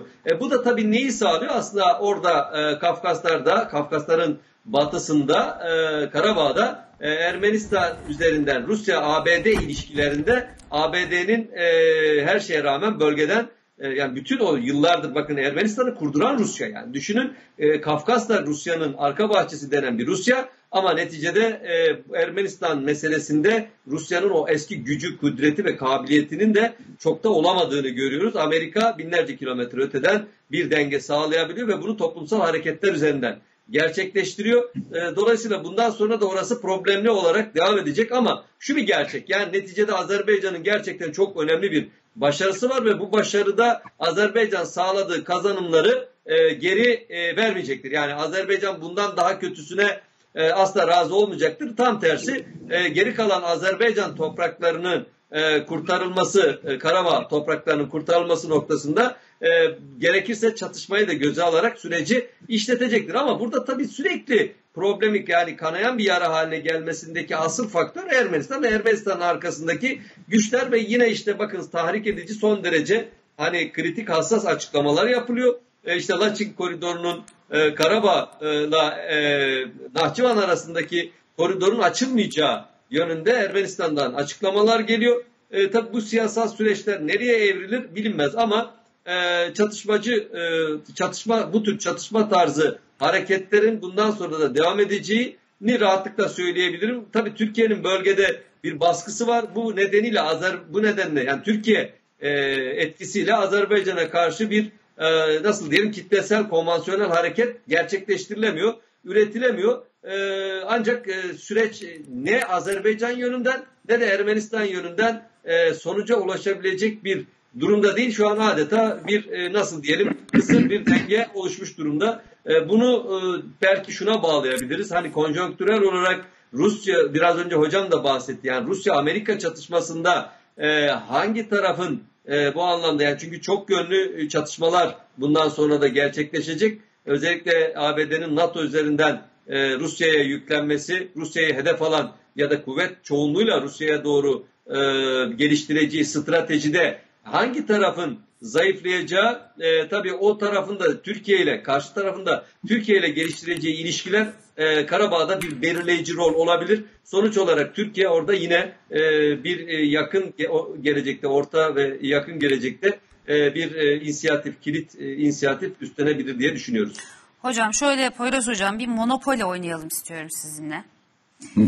Ee, şöyle olsun şimdi Türkiye, Ukrayna daha doğrusu Kırım özelinde söylüyorum bunu. Diğer taraftan Rusya'nın bu konudaki tavrı. Rusya'nın Türkiye ile S-400 meselesi bundan kaynaklı olarak Amerika ile Türkiye'nin F-35 meselesi. Türkiye-Azerbaycan yakınlığı bütün bu Ukrayna ile Rusya Türkiye arasındaki e, hatların e, sıkı dokunduğu dönemlerde Rusya'nın Azerbaycan'a karşı Ermenistan'ın yanında oluşu. Az önce Eray Hocam NATO hatırlatması yaptı. Bir NATO ülkesi olarak Polonya'nın çok yakın zamanda Türkiye'den silah sistemi almış olması ama aslında Polonya'nın bir yanıyla Rusların bir yanıyla da Almanların e, sıkıştırılmışlığında kaldığını da en tarihsel bazda hatırlarsak. Çok mu dağıttım? Yok, ee, hepsi Mon monopol olmadı biraz. hepsi birbiriyle e, aşırı derecede ilintili e, ülkeler ve hepsi şu anda birbiriyle bir kısım anlaşmalar yapıyor. Burada tabii e, benim en e, enteresan bulduğum ilişki Azerbaycan'la e, İsrail arasında kurulan e, dostluk ilişkisi. Dolayısıyla bu ilişkiler yumağında Türkiye kendini nereye konumlandırmalı? Şimdi bakın yeryüzünü akıl yönetir ne güzel monopol şeklinde soruyorum dediniz ama Go Shogi gibi bir soru sordunuz. Şimdi uzak doğuda bunlar çok popüler oyunlar. Şimdi bizde e, en bileni satranç oynadığıyla övünür. Şimdi bakın Rusya'yı doğru okumak zorundayız. Ben dünya siyasetinde Rusya dersi veriyorum. Putin'i doğru anlamak zorundayız. Yani biraz önce hocam da anlatırken e, anladığını düşünmek istiyorum. Çünkü şu anda okurken büyük bir bilgi eksikliği içinde herkes. Yani Afrika'da ne yapıyor, şurada ne yapıyor? Artık konvansiyonel anlamda bakın ABD'ye şimdi eski anlamları yükleyerek ABD'nin işte NATO üyesi şunları yapıyor, bunları yapıyor, işte şu kadar uçak gemisi var, Karadeniz'den işte oraya nasıl Ruslar gelecek filan. Bakın büyük eski konvansiyonel savaşlar yürütülmüyor. Paralı ordularla, paralı askerlerle çok rejimler değiştiriliyor veya işte biz etki odaklı harekat diyoruz. İşte çok tartışılıyor. Şu an işte maket uçaklarla bizim e, hedeflere saldırılıyor. E, üzülüyorum da zaten askeri anlamda da işte yok e, teknolojisi çok gelişti terör örgütünün ve alakası yok. Radar teknolojisini yarasalardan esinlenerek buldu İngilizler 2. Dünya Savaşı'nda. Aynı teknolojiyle çalışıyor olması ve radarın o sinyali gönderdiğinde ben topçuydum Mine Hanım. Dolayısıyla biz ileri gözetleri gösterir, gönderirsiniz lazer de tekrar geriye bir şey gönderir. Radarın mekanizması bu. Şimdi bu çok küçük cisim olduğu için gönderdiği şey yansıyamıyor bu kadar küçük şeylerde. İşte e, Hamas'ın atacağı füzeler de öyle İsrail'e. Demir kubbe de bir şekilde çaresiz kalıyor. Dolayısıyla o hedefin yansıtabileceği büyüklükte olması lazım. Şu anda da harbin bu yeni nevinde etki odaklı harekatı en iyi kim yürütür? Şimdi bakın işte Pentagon'un gizli ordusu deniyor, bilmem ne deniyor, işte Hollywood endüstrisi, Twitter. Ya Twitter ABD başkanını yasakladı. Şimdi bakın sosyal medya algı yönetimi biz işte uzayda şu anda niye sürekli ABD e, uzayla ilgili görüntü paylaşıyor. Siz de şey yaptınız İstanbul parıldıyorsun diyor. NASA habire UFO'ları söylüyor filan. 50'li yıllarda acaba ABD'nin Rusya uzayda bu kadar ileri gitmişken uzaydan haberi mi vardı? Yani şimdi bakın okurken o derin kültürü, Rus kültürünü artı savaş yeteneğini, milliyetçiliklerini ve dünyada iki bu özellikle 2. Dünya Savaşı'nın sonu nasıl geldiğini, Japonya'ya atılan ikinci bombanın aslında Rusya'nın kafasına atıldığını ona güç gösterisi yapıyor. Yani bütün bunlarda şimdi Putin'in veya ekibinin o derin devlet aklıyla bunları görmediğini mi veya Fergana Mümkün değil. Vadisi'nde tabii ki mümkün değil. Bir de bakın ilmek ilmek dokuyorlar. O zaman şu anda Doğu Akdeniz'de Ruslar ne arıyor? Sıcak denizlere inmek istiyordu. Ç- Çariçe Katerina'dan beri. İndiler mi? Halbuki St. Petersburg'da ısınıyor. Küresel iklim değişikliği var. Kut- Kutuplar eriyor. Ve eriyen en önemli noktada Rus, Rus askeri üslerini görüyoruz. Bakın çok Putin'le yapılan bütün mülakatlarda ister Amerikalı bir yapımcı yapsın, ister e, kendi ülkesinden bir yayın yapılsın. Putin şunu ifade ediyor. Rusya dağılmayabilirdi. SSCB dağılmayabilirdi. Zaten Putin bir proje. Bütün ekibiyle beraber geldi. Yani şimdi ABD'nin 50'li yıllarda Caterpillar filan firma ismi de zikredeyim. Hepsini toparlayarak ya biz bu Rusların gerisinde kalıyoruz. Bir komünist avı başlatarak oluşturdukları inisiyatif alıp büyük silah şirketleri işte biraz önce hocamın bahsettiği büyük inşaat şirketleri, büyük şeyler ama şimdi ölçekle ilgili de bakın şimdi bir nükleer santral kaç tane hidroelektrik santrale kilowatt saat olarak tekabül ediyor? Ben derslerimde soruyorum. Ben hocamızla da sorayım. Şimdi 2. Dünya Savaşı sonrası Hocamıza sormayın Ahmet- hocam. Ya Çünkü sorayım sorayım. Yani hayır çünkü bakın. Sorun da cevabı başka zaman alın. İki bağlantım daha var. bir bakışı var ve bu bakıştan vazgeçmek zorunda İsrail devleti. Evet. Bu İsrail devleti bundan vazgeçmek zorunda. Hocam çok teşekkür ediyorum Poyraz Hocam. Hem size Eray Hocam hem de size. Bir gün şöyle kocaman bir Rusya başlığı atalım. Ee, ve sadece Rusya ve Rusya'nın ilişkili olduğu e, devletlere ve onların konumlanma şekillerini konuşalım. Her ikinize de çok teşekkür ediyorum. Ben Sağ olun, teşekkür ederim. için, katkılarınız için. Sağ olun. Şimdi e, bir güne bakışta bekleyen e, konu da e, hepimizin aklında olan bir konu bence. Bir tarafıyla pandemi meselesini sürekli konuşuyoruz, her gün konuşuyoruz hatta.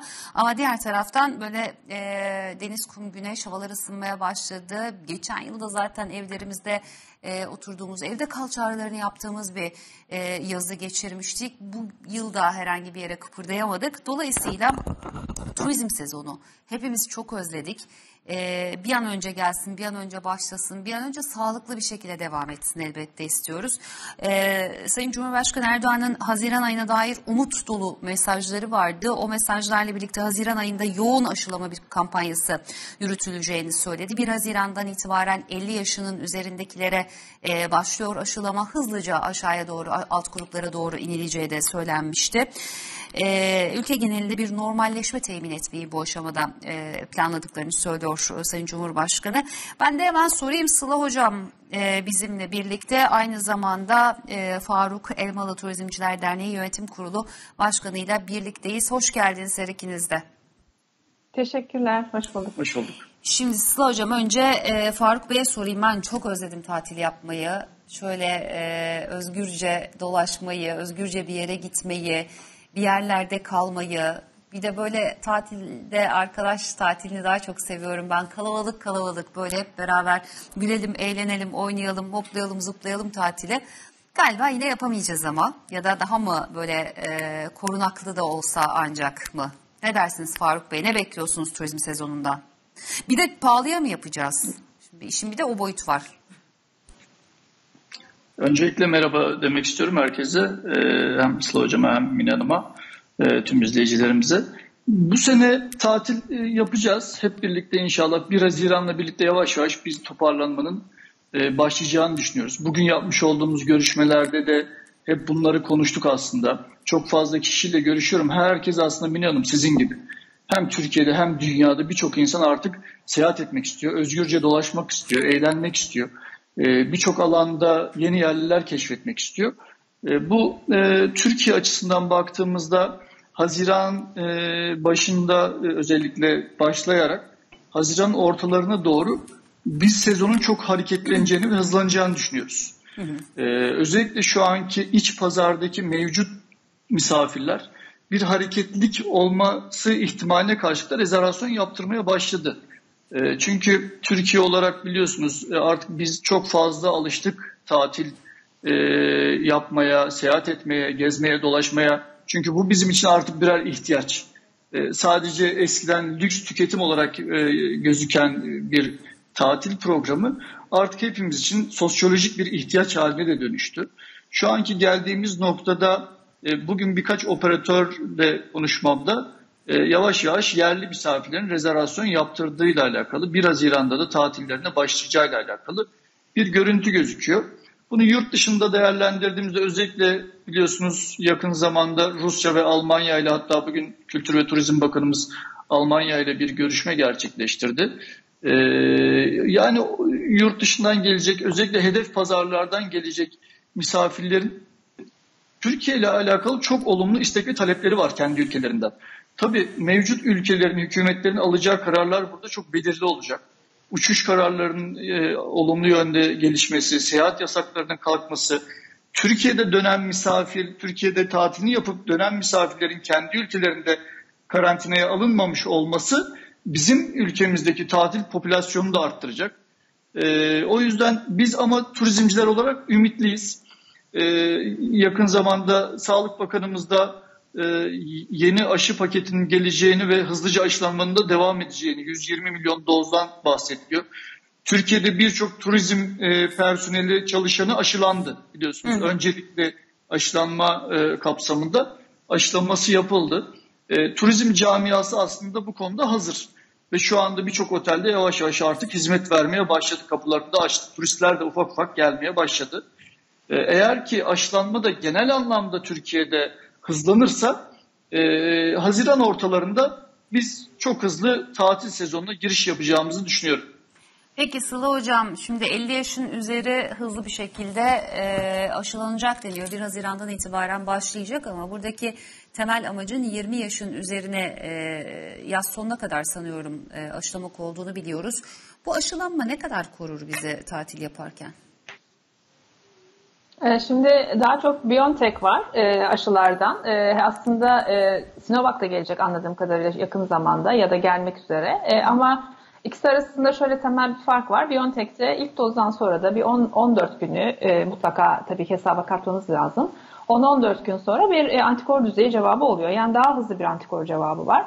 O yüzden de BioNTech olanların aslında ilk dozdan sonra 10-14 gün sonrasında e, tatile gitmek vesaire gibi e, biraz daha korunaklı olduklarını söyleyebiliriz. Yani bizim yazı geçirmemizdeki amaç e, bu önlemlerle belli bir yere kadar indirdik biliyorsunuz. Bundan sonrasında bu yazı çok iyi değerlendirmemiz lazım. Yani aşı açısından çok iyi değerlendirmemiz lazım. Çünkü aşı bunun çok önemli bir parçası.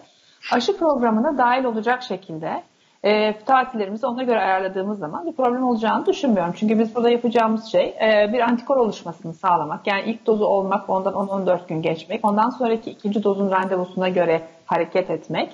Ama e, bu İkinci aşamada olduktan da... sonra mı gitmekte fayda var? İkinci olma, olduktan sonra gitmekte fayda olması tabii ki daha fazla ama bir BioNTech için e, şöyle bir istisna yapabiliriz. İlk dozdan bir 10-14 gün sonrasında bir antikor cevabı oluyor. Gene kendi önlemlerimizden hiç feragat edemeyeceğimiz bir dönemdeyiz. Yani mesafeyi koruyacağımız ama açık havada olduğumuz için yani yazı açık havanın getireceği bir sürü avantajı kullanabilecek e, durumda olacağız. E, burada kalabalık ortama, kapalı ortama girmeyeceğiz. Yani ona göre bir tatil planlamamız gerekiyor. Her zaman için risk e, olabilir ama e, bunu minimum yapmak için bütün faktörleri kullanmamız lazım. Önemli olan şu anda ilk dozun aslında olunması ve ondan eğer BioNTech'se bu 10-14 gün sonrasında e, özellikle genelde korunaklı bir şekilde daha dikkatli bir şekilde geçirmek ve ikinci dozun randevusunu almak. Yani tatil planını ikinci dozdan sonra yaparsak ideal olur tabii ki. Ama bu zaten e, Sinovac aşısı için e, kesinlikle şart olan bir şeylerden, e, sebeplerden bir tanesi diye düşünüyorum. Çünkü ikinci dozdan 10-14 gün sonra e, istenen antikor cevabı oluşuyor Sinovac'ta. E, aşıdan aşıya göre değişiyor. Yani ama bizim e, bu yazda e, herkes için bireysel olarak görev aslında aşısının e, programına uymak, tatilini ona göre planlamak, önlemlerden hiçbir şekilde vazgeçmemek. Peki şimdi tekrar size döneyim Faruk Bey. E, kafamdaki önemli sorulardan bir tanesi de bu tatil kaça yapacağım e, konusu. Çünkü sonuç itibariyle e, mesafe kurallarını korumak üzere zaten e, bir e, daha az insanın bir araya e, gelmesini sağlamak üzere kapasiteyi düşüreceğiz. Diğer taraftan işte yemek yiyeceğimiz yer için de aynı şey geçerli, kalacağımız yer için de aynı şey geçerli. Zaten çok da ucuz olduğunu söyleyemeyiz herhalde bütün bunların. Bir de üstüne kapasitenin daralmış olması ile birlikte daha fazla bir bütçe ayırmak mecburiyetinde kalıyor muyuz? Yoksa buna ilişkin yeter ki turist gelsin de e, biz o kadar e, parayı almasak da olur yöntemi mi izlenecek?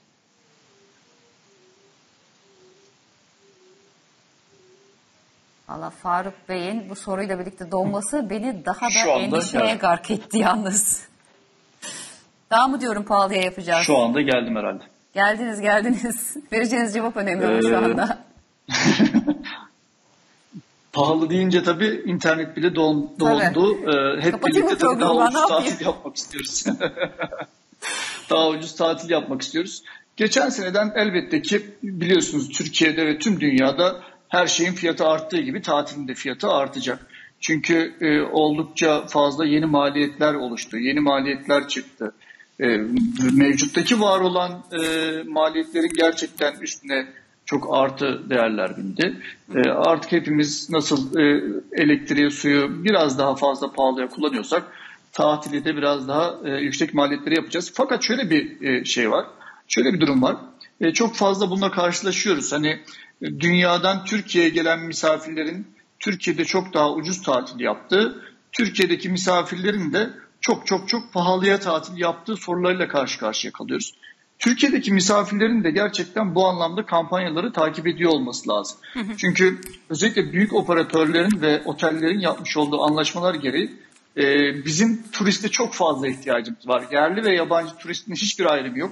Turistlerin bu sene yapacağı seyahatlerin bizim için değeri her zamankinden çok daha fazla. Bir cümleyle Çünkü- toparlayabilir miyiz Faruk Bey? Kapatmam lazım. Hemen şöyle söyleyeyim. Bu sene e, indirimli kampanyalardan yararlanarak çok daha uygun tatil e, potansiyelini yakalayabilir misafirlerimiz. Peki çok teşekkür ediyorum ikinize de. Görüşmek üzere kolaylıklar diliyorum. Her şeyden önce sağlıklı bir e, dönem diliyorum elbette. Güne bakışa böylece noktayı koyalım. Yarın aynı saatte saatler 14.30'u gösterdiğinde görüşmek üzere. Hoşçakalın.